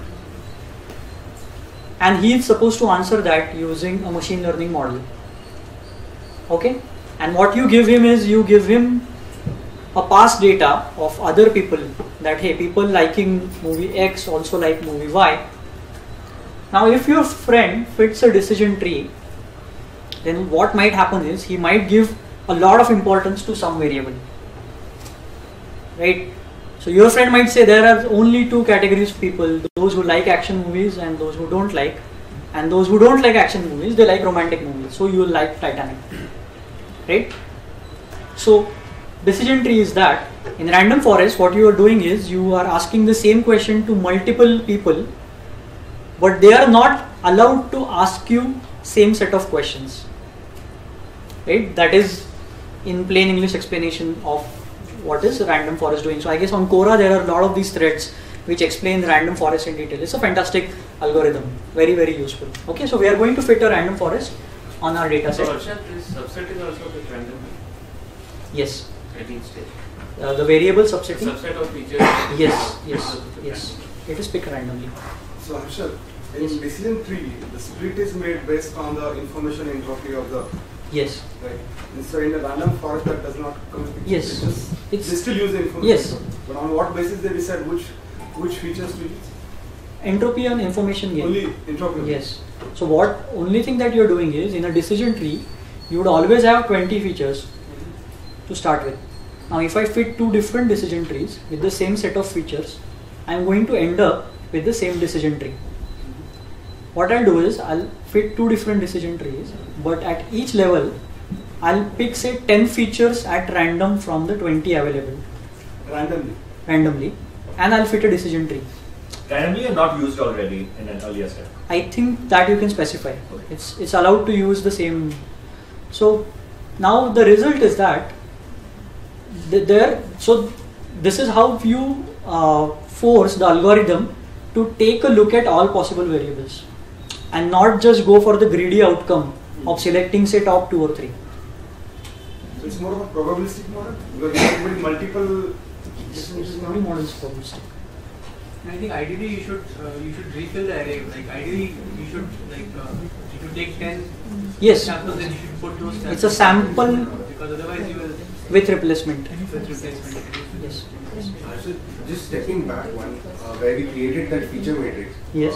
So the only reason that we created that is because uh, the method or the model that we're going to use does not accept categorical. Yes. Is that true for every model that we typically use? No, it's true for sklearn, the library that we are using. I think that we use. R will automatically understand that this is a feature, a categorical variable. Because yesterday we did something similar in R also. Yeah, but I think R supports factor variables by default. Alright, so here is the code. This is how it looks like. So sklearn, now we have this new library, which is the standard machine learning package for Python, right? So everyone doing machine learning in Python, they typically end up using scikit-learn. So these are called ensemble models, right? Because I'm not fitting one tree, I have this forest of trees, and then everyone is going to give me a prediction, and I'll just I'll average out and give my final prediction that is symbol so I'm importing that particular class. I'm instantiating this object of this particular class with a random state because these are randomized models. So if I learn this again I would want the same set of random numbers coming up right? So initial part of yesterday's talk this is what we did. Why 42 those who have read Douglas Adams Hitchhiker's Guide to Galaxy uh, right? So then we had this feature matrix and then we had this target which is a series. So from that I'm extracting values. These target dot values is going to be 1 and 0 so I'm saying hey this object fit a model of this class on these features and this outcome. Okay? Now why uh, so random forests are good because they allow you to print something called as feature importance if you we had around 20 features in this feature matrix. What is so this forget this part. It, it tells you the importance of each feature in your uh, model. And then you can also score this. Okay so I'm, I'm going to run this. Uh, don't worry if you are not able to cover up this part. It's more of an understanding here. So just remember this part right? So you, instantiate an object and you fit your model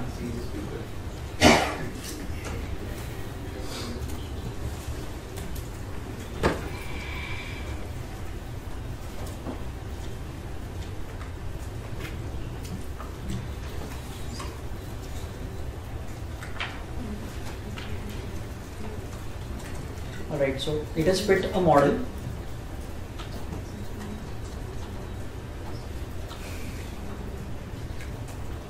So this model object is a class and it has this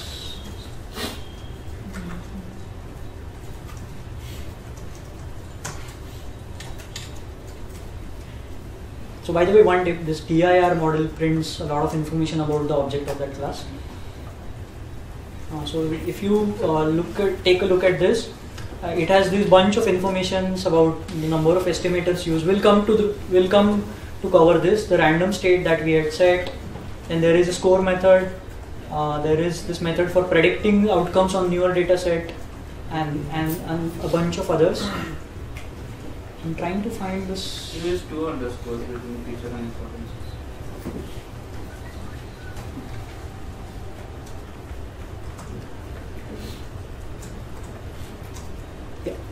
Thanks. So basically the 21 variables that we were using, what it has done is uh, it has printed the importance of each variable.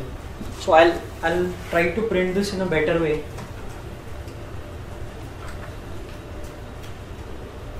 So I'm just converting that to better readable percentages. Don't worry about it. You can use this code later.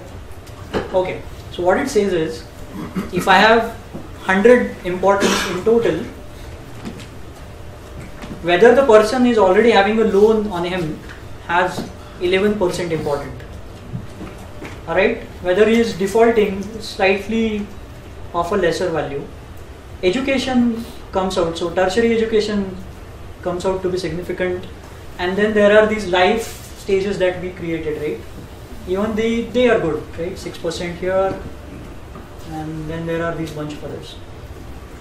Right? Even the balance very high comes out to be around 5% and stuff like this. So basically if you are presenting this as a result to a business user who doesn't understand machine learning random forests are very good right? Because it gives you a nice uh, what you can say nice explanation about how the features are contributing to your output. Okay so we have fit a model now do you want me to wait or move on? I'll move on. I'll take that as moving on. So, and now I need to. So we said that evaluating a model is very important. Okay. So I'll cover a simple evaluation called it score. Okay. So the model object that we fit, it says that hey, it's out of 100, it has a score of 88 percent. Alright, but there is something very, very ingenuine that we've done here. Can someone point it out, please? They are, uh, I mean, they are giving the same, there's no test Test. Exactly.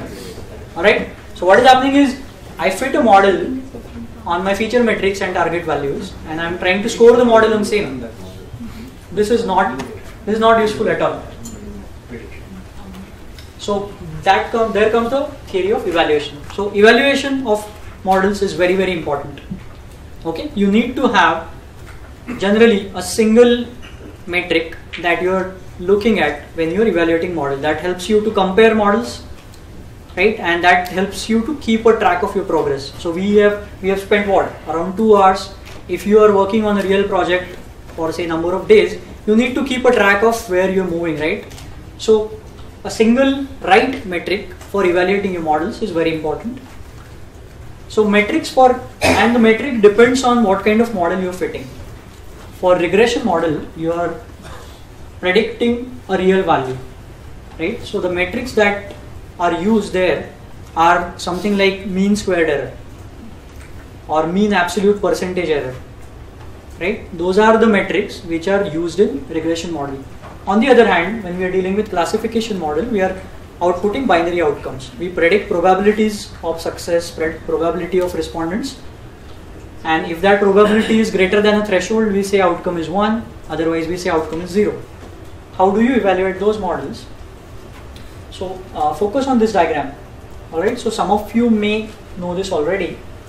We have a prediction outcome and then we have the actual. So these are the people who actually subscribe to that uh, deposit scheme and these are the ones which we predicted that they will subscribe. So these are true positives. Some of them are actually positives but we couldn't predict them. We said these are bad. So these are false negatives. We should have predicted predicted them to be positives but we have done the other way around. And then there are the other uh, things here. So we calculate two metrics on this. One is called as precision. So what we do here is you take your true positives and you divide it by the total number which you predicted to be positive. Alright? So hold on to that thought for a moment. What are you doing? Precision says the ones that you are predicting to be positive how many of them are actually positive? If if that number is very small your model has got it completely wrong. On the other hand there is this another metric which is summing along this row. It says the ones which were actually positive how many are covered by your model? Right if this number is small then even that is bad. In that bank marketing campaign there were 5000 respondents. But if my model is covering only say 1 or 2% of it or 10% of it What do you mean by covering it? uh, okay i'll explain that. When you fit a model and you do a prediction. Eh, so we had that original data. What you can do is you can split that data. I'll, I'll cover that part. You can split that data in two parts. Fit your model on this train set. And on test set you do a prediction. That prediction is going to be a probability. Based on that probability you decide a threshold that if that probability is greater than 0.5 I'll call my outcome or my prediction as positive. Those will be here.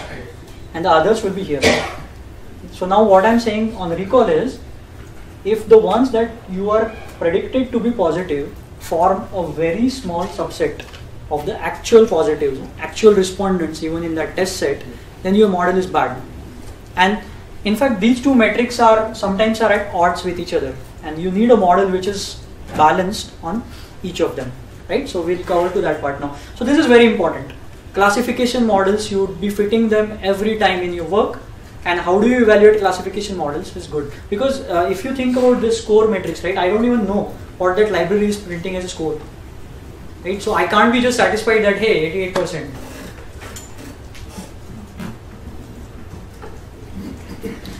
So uh, scikit-learn it allows a slightly better way of uh, evaluating a classification model. So this even if you don't copy paste this it's okay this is going to be covered again after a couple of slides i'll just print this result for everyone to see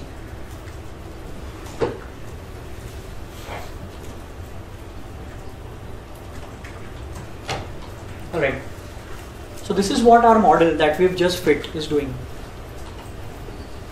Can you see something here? Zero. Uh, so what it has done is the original number of respondents, the 5000 respondents that were there, our model is not at all capturing any one of them. So in fact, this is a rounded result. The actual is around 0.03%. Our model is doing very, very bad at this stage. And there is this important, right? As a business owner, I am interested in these numbers. Right? Are you predicting respondents well? If you're building this model for detecting cancer, look at the catastrophe that it can cause. Right? If you use this model directly. So even though this this metric F score, what it does is it takes a I'll, I'll explain the formula. It basically takes a product product of this and divides it by the sum. So basically what we are trying to say is that I want a model which is good on both. So is it also telling that the model is good for the negatives? Zero is still 88%, Yes. right? Okay. But not But useful. That's not useful. Th- that is not useful. is not useful. But I mean, that could also be because of bias. There are many more samples. In, uh, Exactly. Very important point. Because to start with, we had only 5,000 respondents. So if we blindly fit a model, the yeah, the model is going to be biased towards the class zero. All right. So how do we? So F score is this precision into recall. Multiply that by twice and divide by p plus r. Um, F score generally is a very good metrics for evaluating classification models. So if we take a look at so predictions is the thing that our model is predicting. If I sum this, it will be a very small number, 22. Alright, so our model is predicting that only 22 people would ever be interested in your scheme. And even out of those 22 that we predicted, hardly 12 or 13 turned out to be the real respondents. So even on precision, you're doing very bad. So, okay, another problem that you might face in a real world project. Uh, so I spoke about overfitting a couple of slides back. Okay, so there are these two coins. One is called bias, the other is called variance. When we are fitting a model, what we are doing is we have a data and we have some tunable parameters and we are trying to fit a function. Now what is going to happen is if I have a lot of levers to tune, I can always come up with a function which fits very well to the data. Alright? Or should I explain it again? Basically we are trying to fit a function to a data and you have a lot of degrees of freedom. And so you can expect that a model will always fit very well on your training data. On the other hand, there are some models which perform very poorly even on training data, just like we observed in last slide. Our model is doing bad even on the training data. So if your model is not working well even on training data, that is called bias. Your model is way away or way outside uh, the actual range. On the other hand, what happens is the model fits very well on training data, but the moment you test it on some other data set, your predictions are way off. That is called the variance issue. And typically in every machine learning project, you would need to understand after your first or two, one or two iterations, which way are you going. The key idea is you need to always test it on a data set where there is no degree of freedom. You've already fit a model and then test it on a new data set where you're not touching anything in that model. You're just using it as a prediction service and then test your outcome. Right? That is the unbiased way of evaluating your model. So uh, I'll not spend too much time on this. Uh, the Coursera course by Andrew Ng on machine learning, it has a fantastic coverage of bias and variance. He plots a lot of graphs and explains this problem very very well. Because this is a problem you are likely to encounter a lot of times in your real world project. So uh, do spend some time uh, understanding that. Uh, couple of minutes on this. In classical regression models, we are trying to fit coefficients of that function. You have a function like y is equal to mx plus c. You are trying to find out m. In classical regression models, the problem of variance and bias is treated by saying that the value that the coefficient can take is restricted while fitting so don't worry if this theory is going a bit bouncer you don't have to know it but for those folks who are interested classical regression models are nothing but optimization routines nonlinear optimization routines. What they do is they add a penalty which is proportional to the coefficients of the model that you're trying to fit. And that's how they ensure that bias variance is taken care of. Random forest because it is inherently doing something in parallel and not selecting the same set of features at every node, it is expected to remove variance because you are looking at the same data from different angles by selecting different features, right? So random forests are very popular because they are inherently good at handling variance. Another thing, so we spoke about bias versus variance and then he mentioned a good point. Your data to start with can be very biased and the outcome that you're predicting depending on your application domain uh, your precision and recall can be very important. Right? So what happens if in a marketing campaign you predict a lot of people to be respondents even if they are not? The costs are not very high right? You would end up just annoying few people. And that most of the banks and other marketing firms do it anyway right? So they wouldn't care. So Bhargava mentioned this example, predicting pregnancy, right? Yesterday, by done by some company. What if you get that wrong, right? If your probability thresholds, you you might cause divorce, and I don't know. There there will be some huge implications.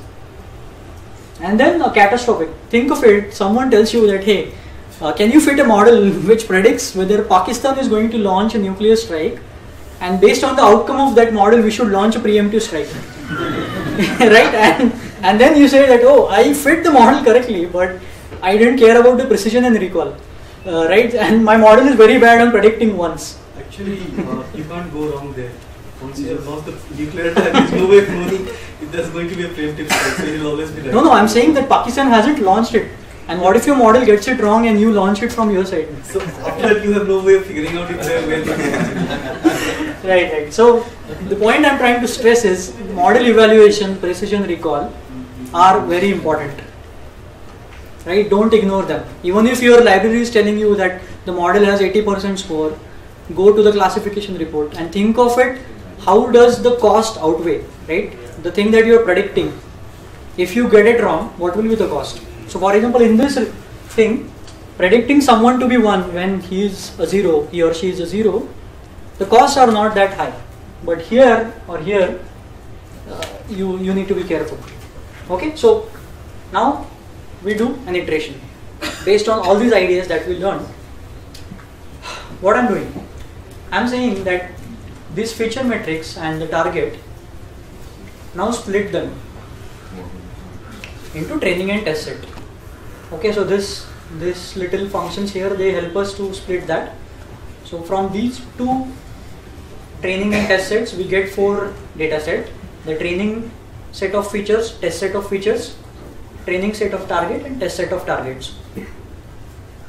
And you can specify the size of the split. It could be 70-30, it could be 60-40. Then here is another important part. Because our data is imbalanced towards zeros, we need to artificially inflate or give importance to the ones. There are multiple ways of doing that. What you can do is you can random sample your data such that both classes are represented equally. Or the other way to do it is you can tell the model that if something is 1, I want to put a very high importance on that as compared to the ones which are 0. Is there a typo here? This should be yes. else 1. Yeah. So when y is 1, it should be 9 and when y is 0, my weight is 1. So what I'm doing is I'm doing it exactly opposite to the uh, response rate that we have in the data set. In my data, in our data set, y0 is 90% and y1 is about 10%. I'm doing it exactly reverse. You can get fancy around this. You can uh, actually form a loop and keep on trying out different weights and see which one fits. Right? So there are all these possibilities. So here we have taken care of. So here we have taken care of not testing our model on the same data set. Here we take care of imbalance. Here what we are doing is we are telling the random forest classifier that the minimum number of data points that you should have in a node to split that is 10 and the minimum number of samples or number of data points that you that go in a leaf is also 10 so anything that you say is a pattern has to be true for at least 10 customers. Right? In fact this number should be higher. I'm, I'm just taking a reasonably large number here. Any questions avoid- on that? That is to avoid overfitting. Yes. Right, so that will say that, hey, if you are saying that balance greater than 50 definitely signals a respondent, that condition has to be true for at least 10 respondents or 10 customers. Otherwise, it's not an insight. Parameters would help in pruning the tree. Yes. In fact, you can specify the maximum depth of the tree also. You can say that maximum that you can go is 4. So there are lots of lots of parameters. You can read the documentation, but these are some ways of ensuring that you are not just looking at some random noise in the data. You are actually searching for patterns. And then I'll fit this model and then run the thing again. So I'll just copy paste this part.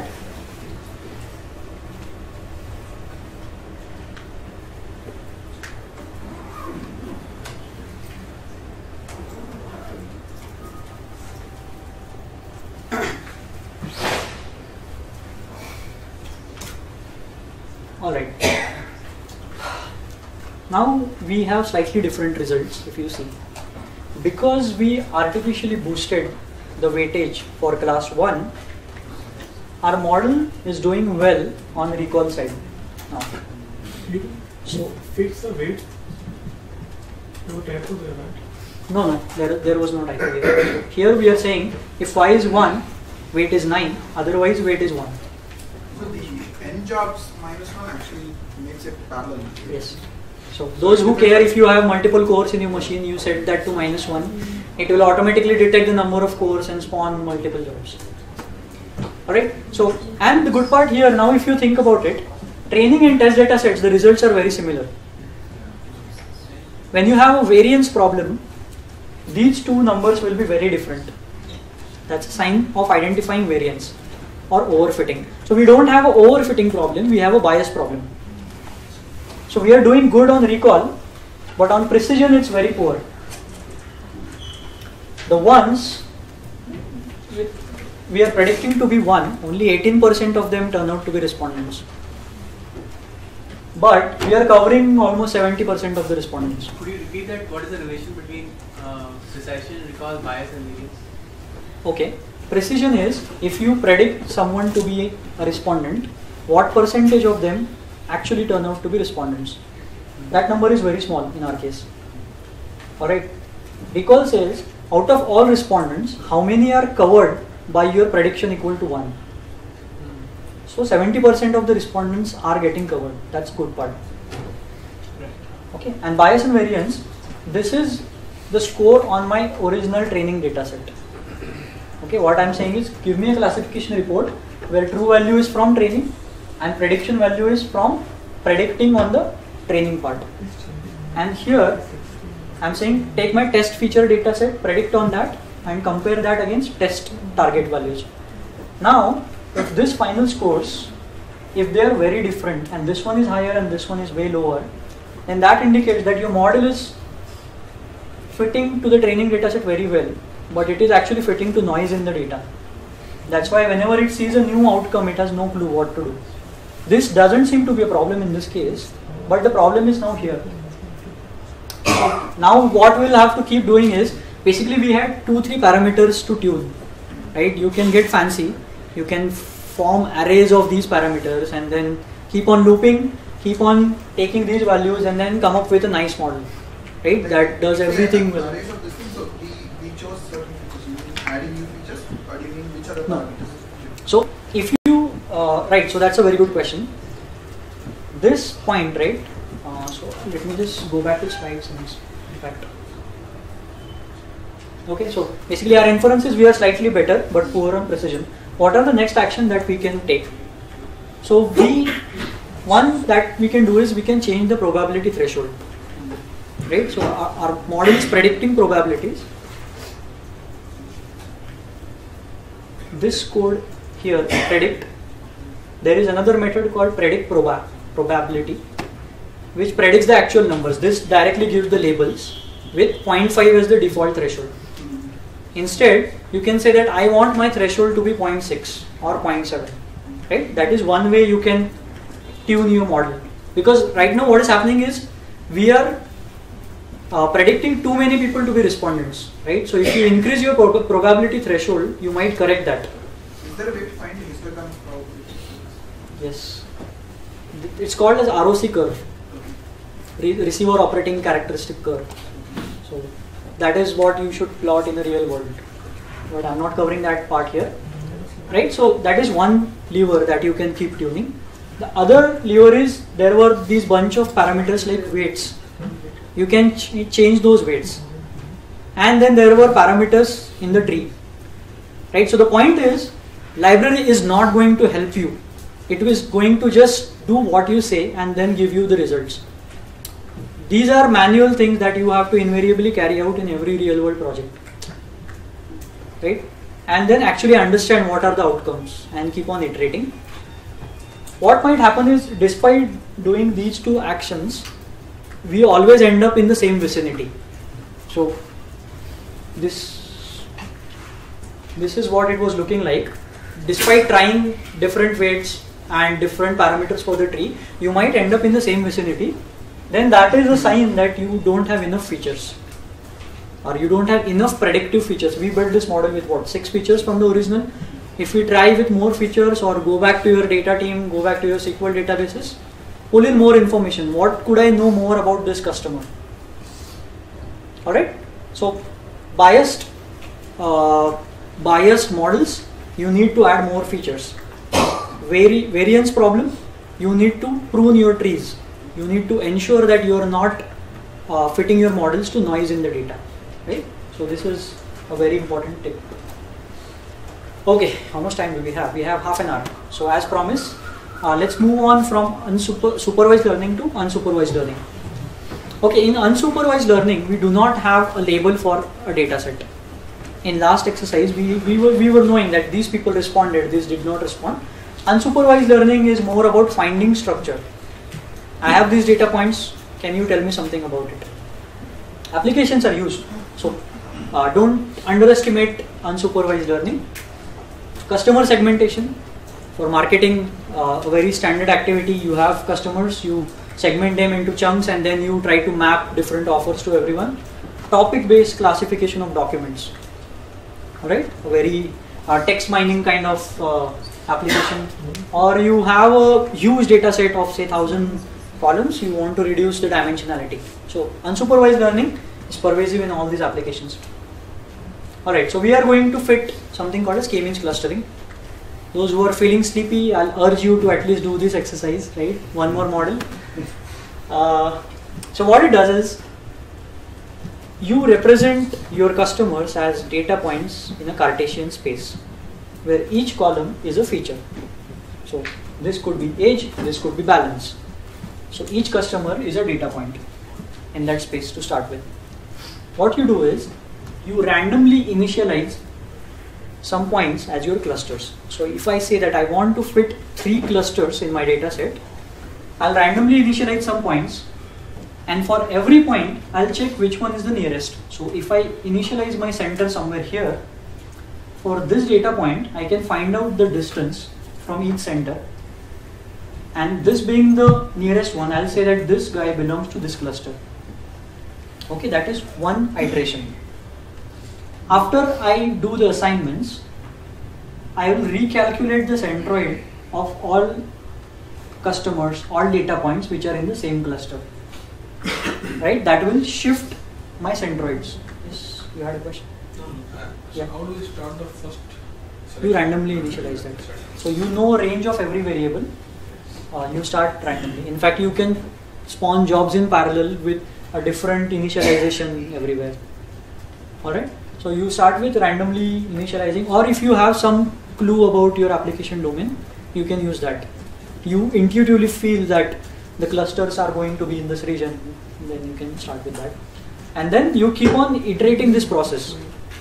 You reassign people or you reassign data points, calculate the centroid again, till you hit a convergence where no more there are changes. Everybody is fit, fit into a cluster, right? So that is how, in plain English, K-means algorithm works. All right, code. So, and the more most important part is if you think about it, uh, your variables need to be on the same scale for doing this. Because you we are calculating Euclidean distance here. Right? If your variables are on a different scale uh, your results are going to be haywire you need to ensure that they are all on the same scale and you need not only use Euclidean distance there are other fancy distance calculation methods. So I won't go into all those details. But the important point is what we do is from the data set we select these two variables convert them into a matrix. This is so that uh, we can fit our cluster on that. Then here I am scaling them. Mean uh, and variance normalization. I guess Bhargava covered that so from every data point subtract the mean and divide by the variance of that. You scale them. This is very important. Number of clusters there is no very simple way to decide number of clusters. It is driven by the outcome that you observe. So basically it's an iterative process. It's a huge research topic. And uh, somewhat some knowledge of your application or the problem that you're trying to solve. So here uh, i'm taking things like age and balance you might say that uh, two there are typically two or three uh, what you can say billions of people. You initialize your class object with this default. You fit your data predict the labels that is predict the cluster label for each data point and here I am plotting them. Alright? So I'll directly copy paste this because we are slightly short on time because understanding the result here is more important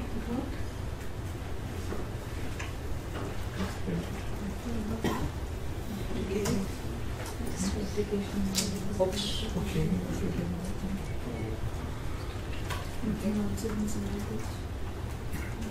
Which one?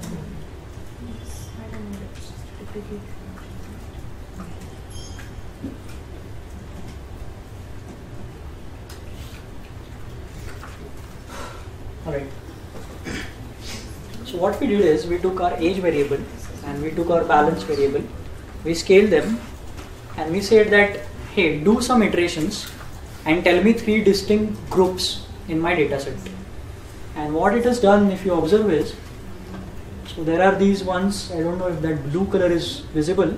So there are these ones in blue here, there are some in red and then there are these three in green. Alright, so it is just so I took only two variables here because it is very easy to visualize. You can put more variables inside. But the important part is to remember that these are numeric variables.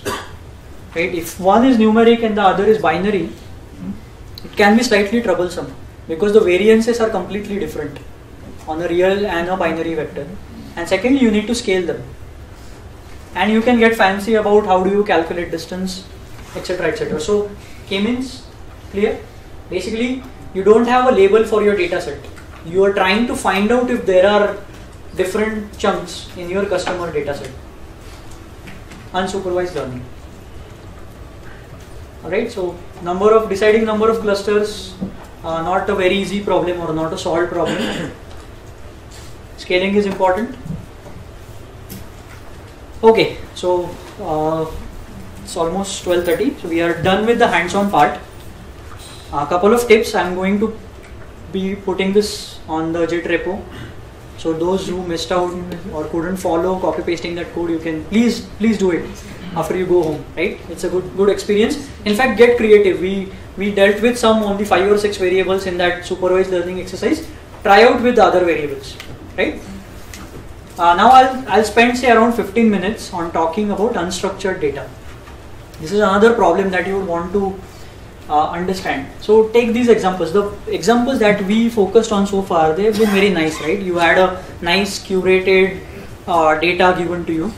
But what if you're dealing with uh, things like face recognition or spam filtering, news article recommendation, product recommendation, uh, detecting motion in videos for security reasons.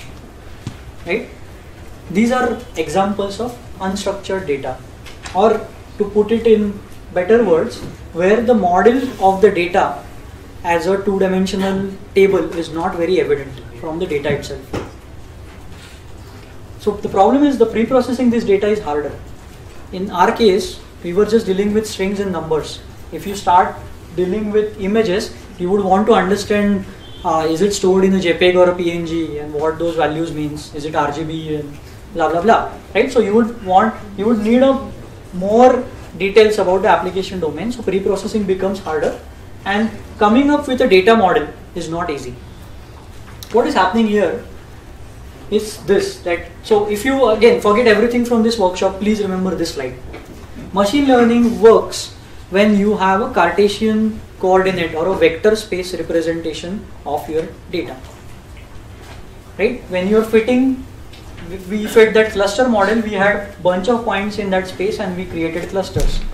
When we create classifiers, we are trying to find a hyperplane which divides my positive outcomes and negative outcomes. So each customer is a data point. Some of them are here which are plus ones, some of them are here which are zeros and find probably a hyperplane which divides them. So once you can bring your data to this representation, then life is easy. Actually nothing. Alright, but in case of unstructured data, how do you even come up with this model? That is the challenge. Uh, I'll give some examples. If you're doing text and document mining, I seem to be working a lot with this problem. You just have emails or data grab from HTML pages, customer reviews, tweets, posts on your page of your social network. This is all text data. How do you do any classification or clustering on top of that? The insight is words form your axes. Remember this. If you have a document, words form your axes, and then each document is just a data point in that space. And there, the creative part would be which words to keep in your model. If you have things like and the, the typical English stop words, they are not telling you much about the document. So how do you transfer your document to this representation? There is the creativity. So you make each word into a feature of its own. Yes, each word then becomes a column in your data frame. Data frame And then there is a one zero. URL or something, or, or the. Yes. And then you have to get creative about eliminating stop words. Whether you want to convert everything to a lowercase. Uh, how do you deal with multiple spaces? You need to trim those. And in fact, it's good. Uh, life is good as long as we are in English. If you move on to Chinese, yes. Yeah, Chinese. I would like to Yes. You can't do tokenization. They don't have, I guess, concept of space separating words. What are you doing that? I'm not sure.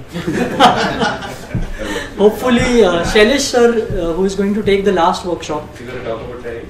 Last time, no, he, he didn't talk about Chinese, but he had worked on text mining and he had a nice presentation last time. I'm hoping that this time he gives some insights on text Maybe mining. we should tell them, you know, before the start. Maybe Are you working with Chinese domain? Yeah, yeah, I'm so. Um, another thing, do we have a repository for all the stop work that I can use you know, rather than many users? NLTK, yes. Huh? So Python, NLTK has a repository with all English, English. And I guess for Russian and other, there would be some. That's good. Thank you. right? So I'll move on. Text, words are axes, documents are data points. Text can be anything. These are not only books. These could be tweets. These could be posts on social network. But there, in fact, the problems are even harder. People use slang language, so stop words don't work out.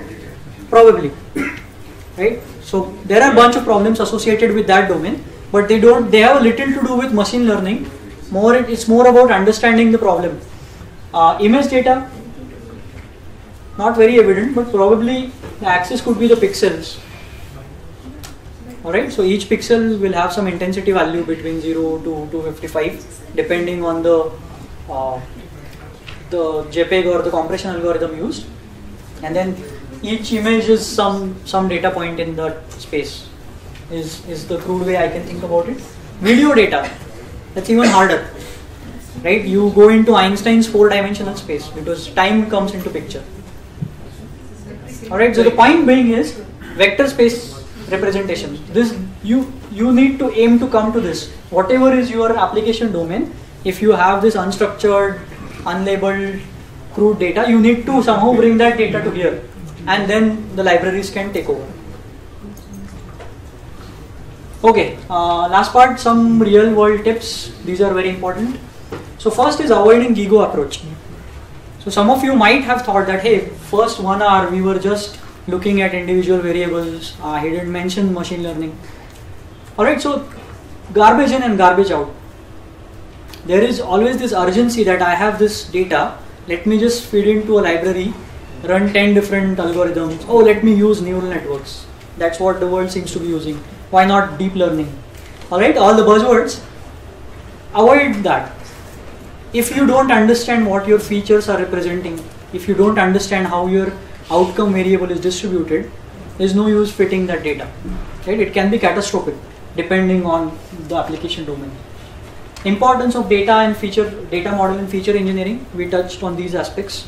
The age binning, the balance ratio that we uh, calculated. Right? Those are important steps.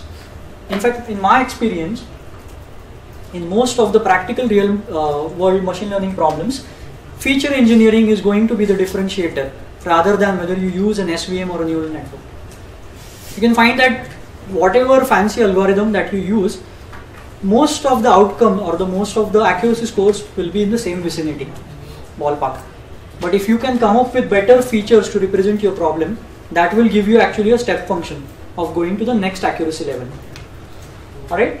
Uh, fallacy of anti-causal system. This is a very important. Uh, if you read, so this bank marketing data set, you can find the original paper where they discuss their approach.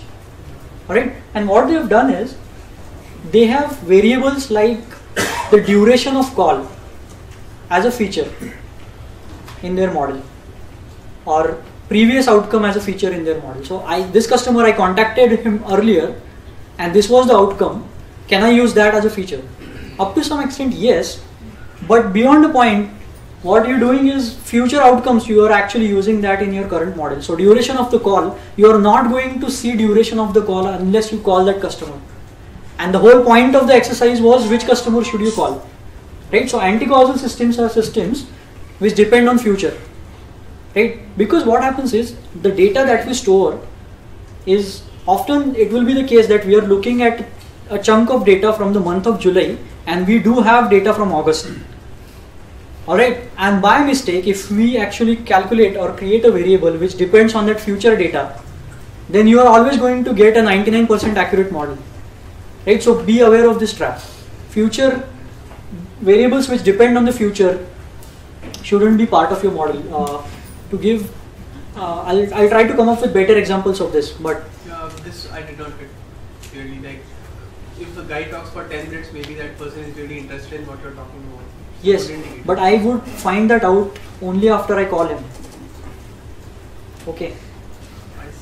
But when you do prediction on a newer data set, you haven't called that person yet. Then you need to predict who will talk for 10 minutes. Right? So that is the fallacy of anti-causal system. You can create a model because on historical data you would always know the duration of your call. But on your future outcomes you don't know that. So that cannot be a feature in your machine learning model. So Right? what So- if they decide in their paper about the duration of call? So in fact they did mention that duration of the call, although it future. comes out to be important, but it is future.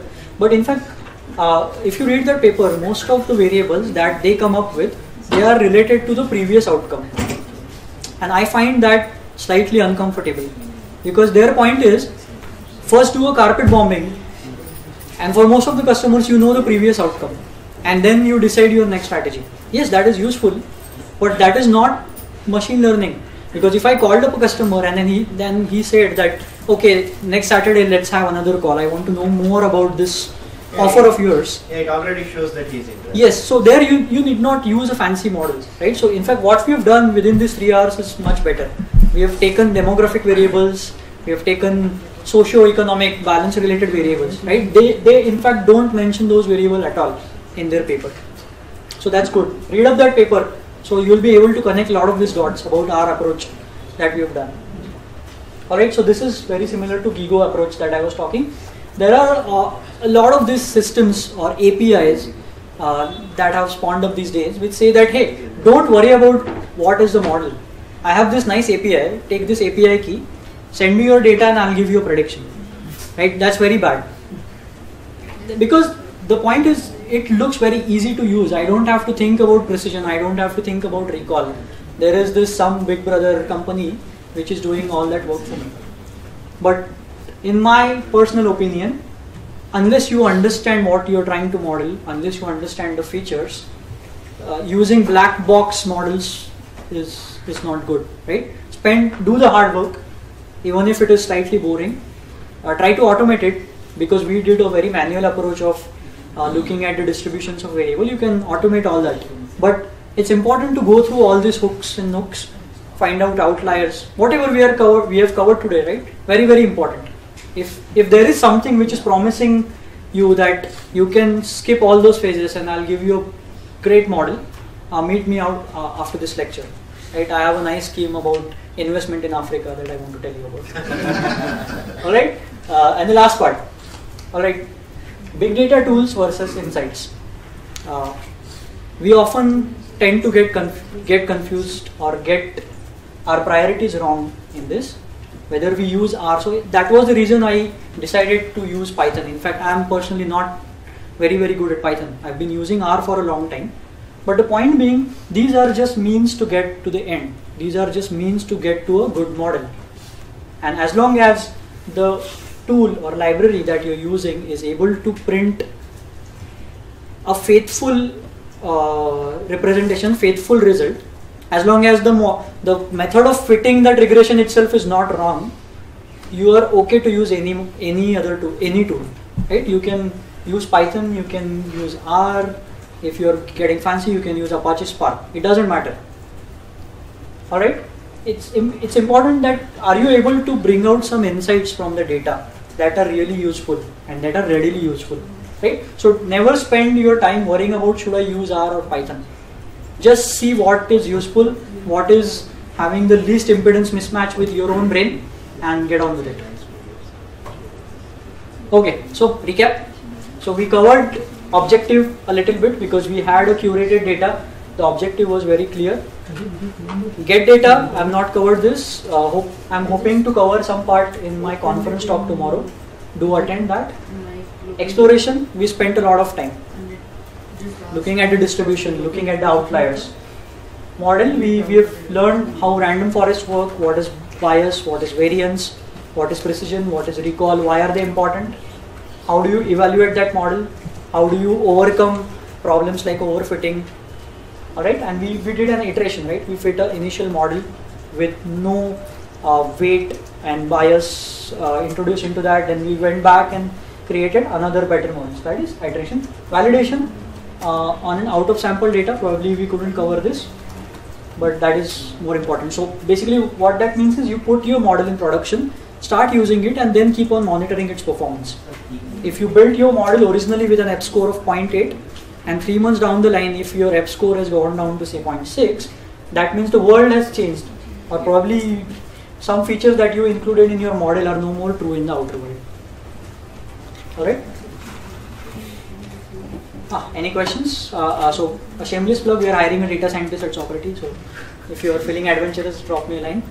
Uh, yeah, so I'm open to questions if you have any. Can you uh, tell a bit about the work you do?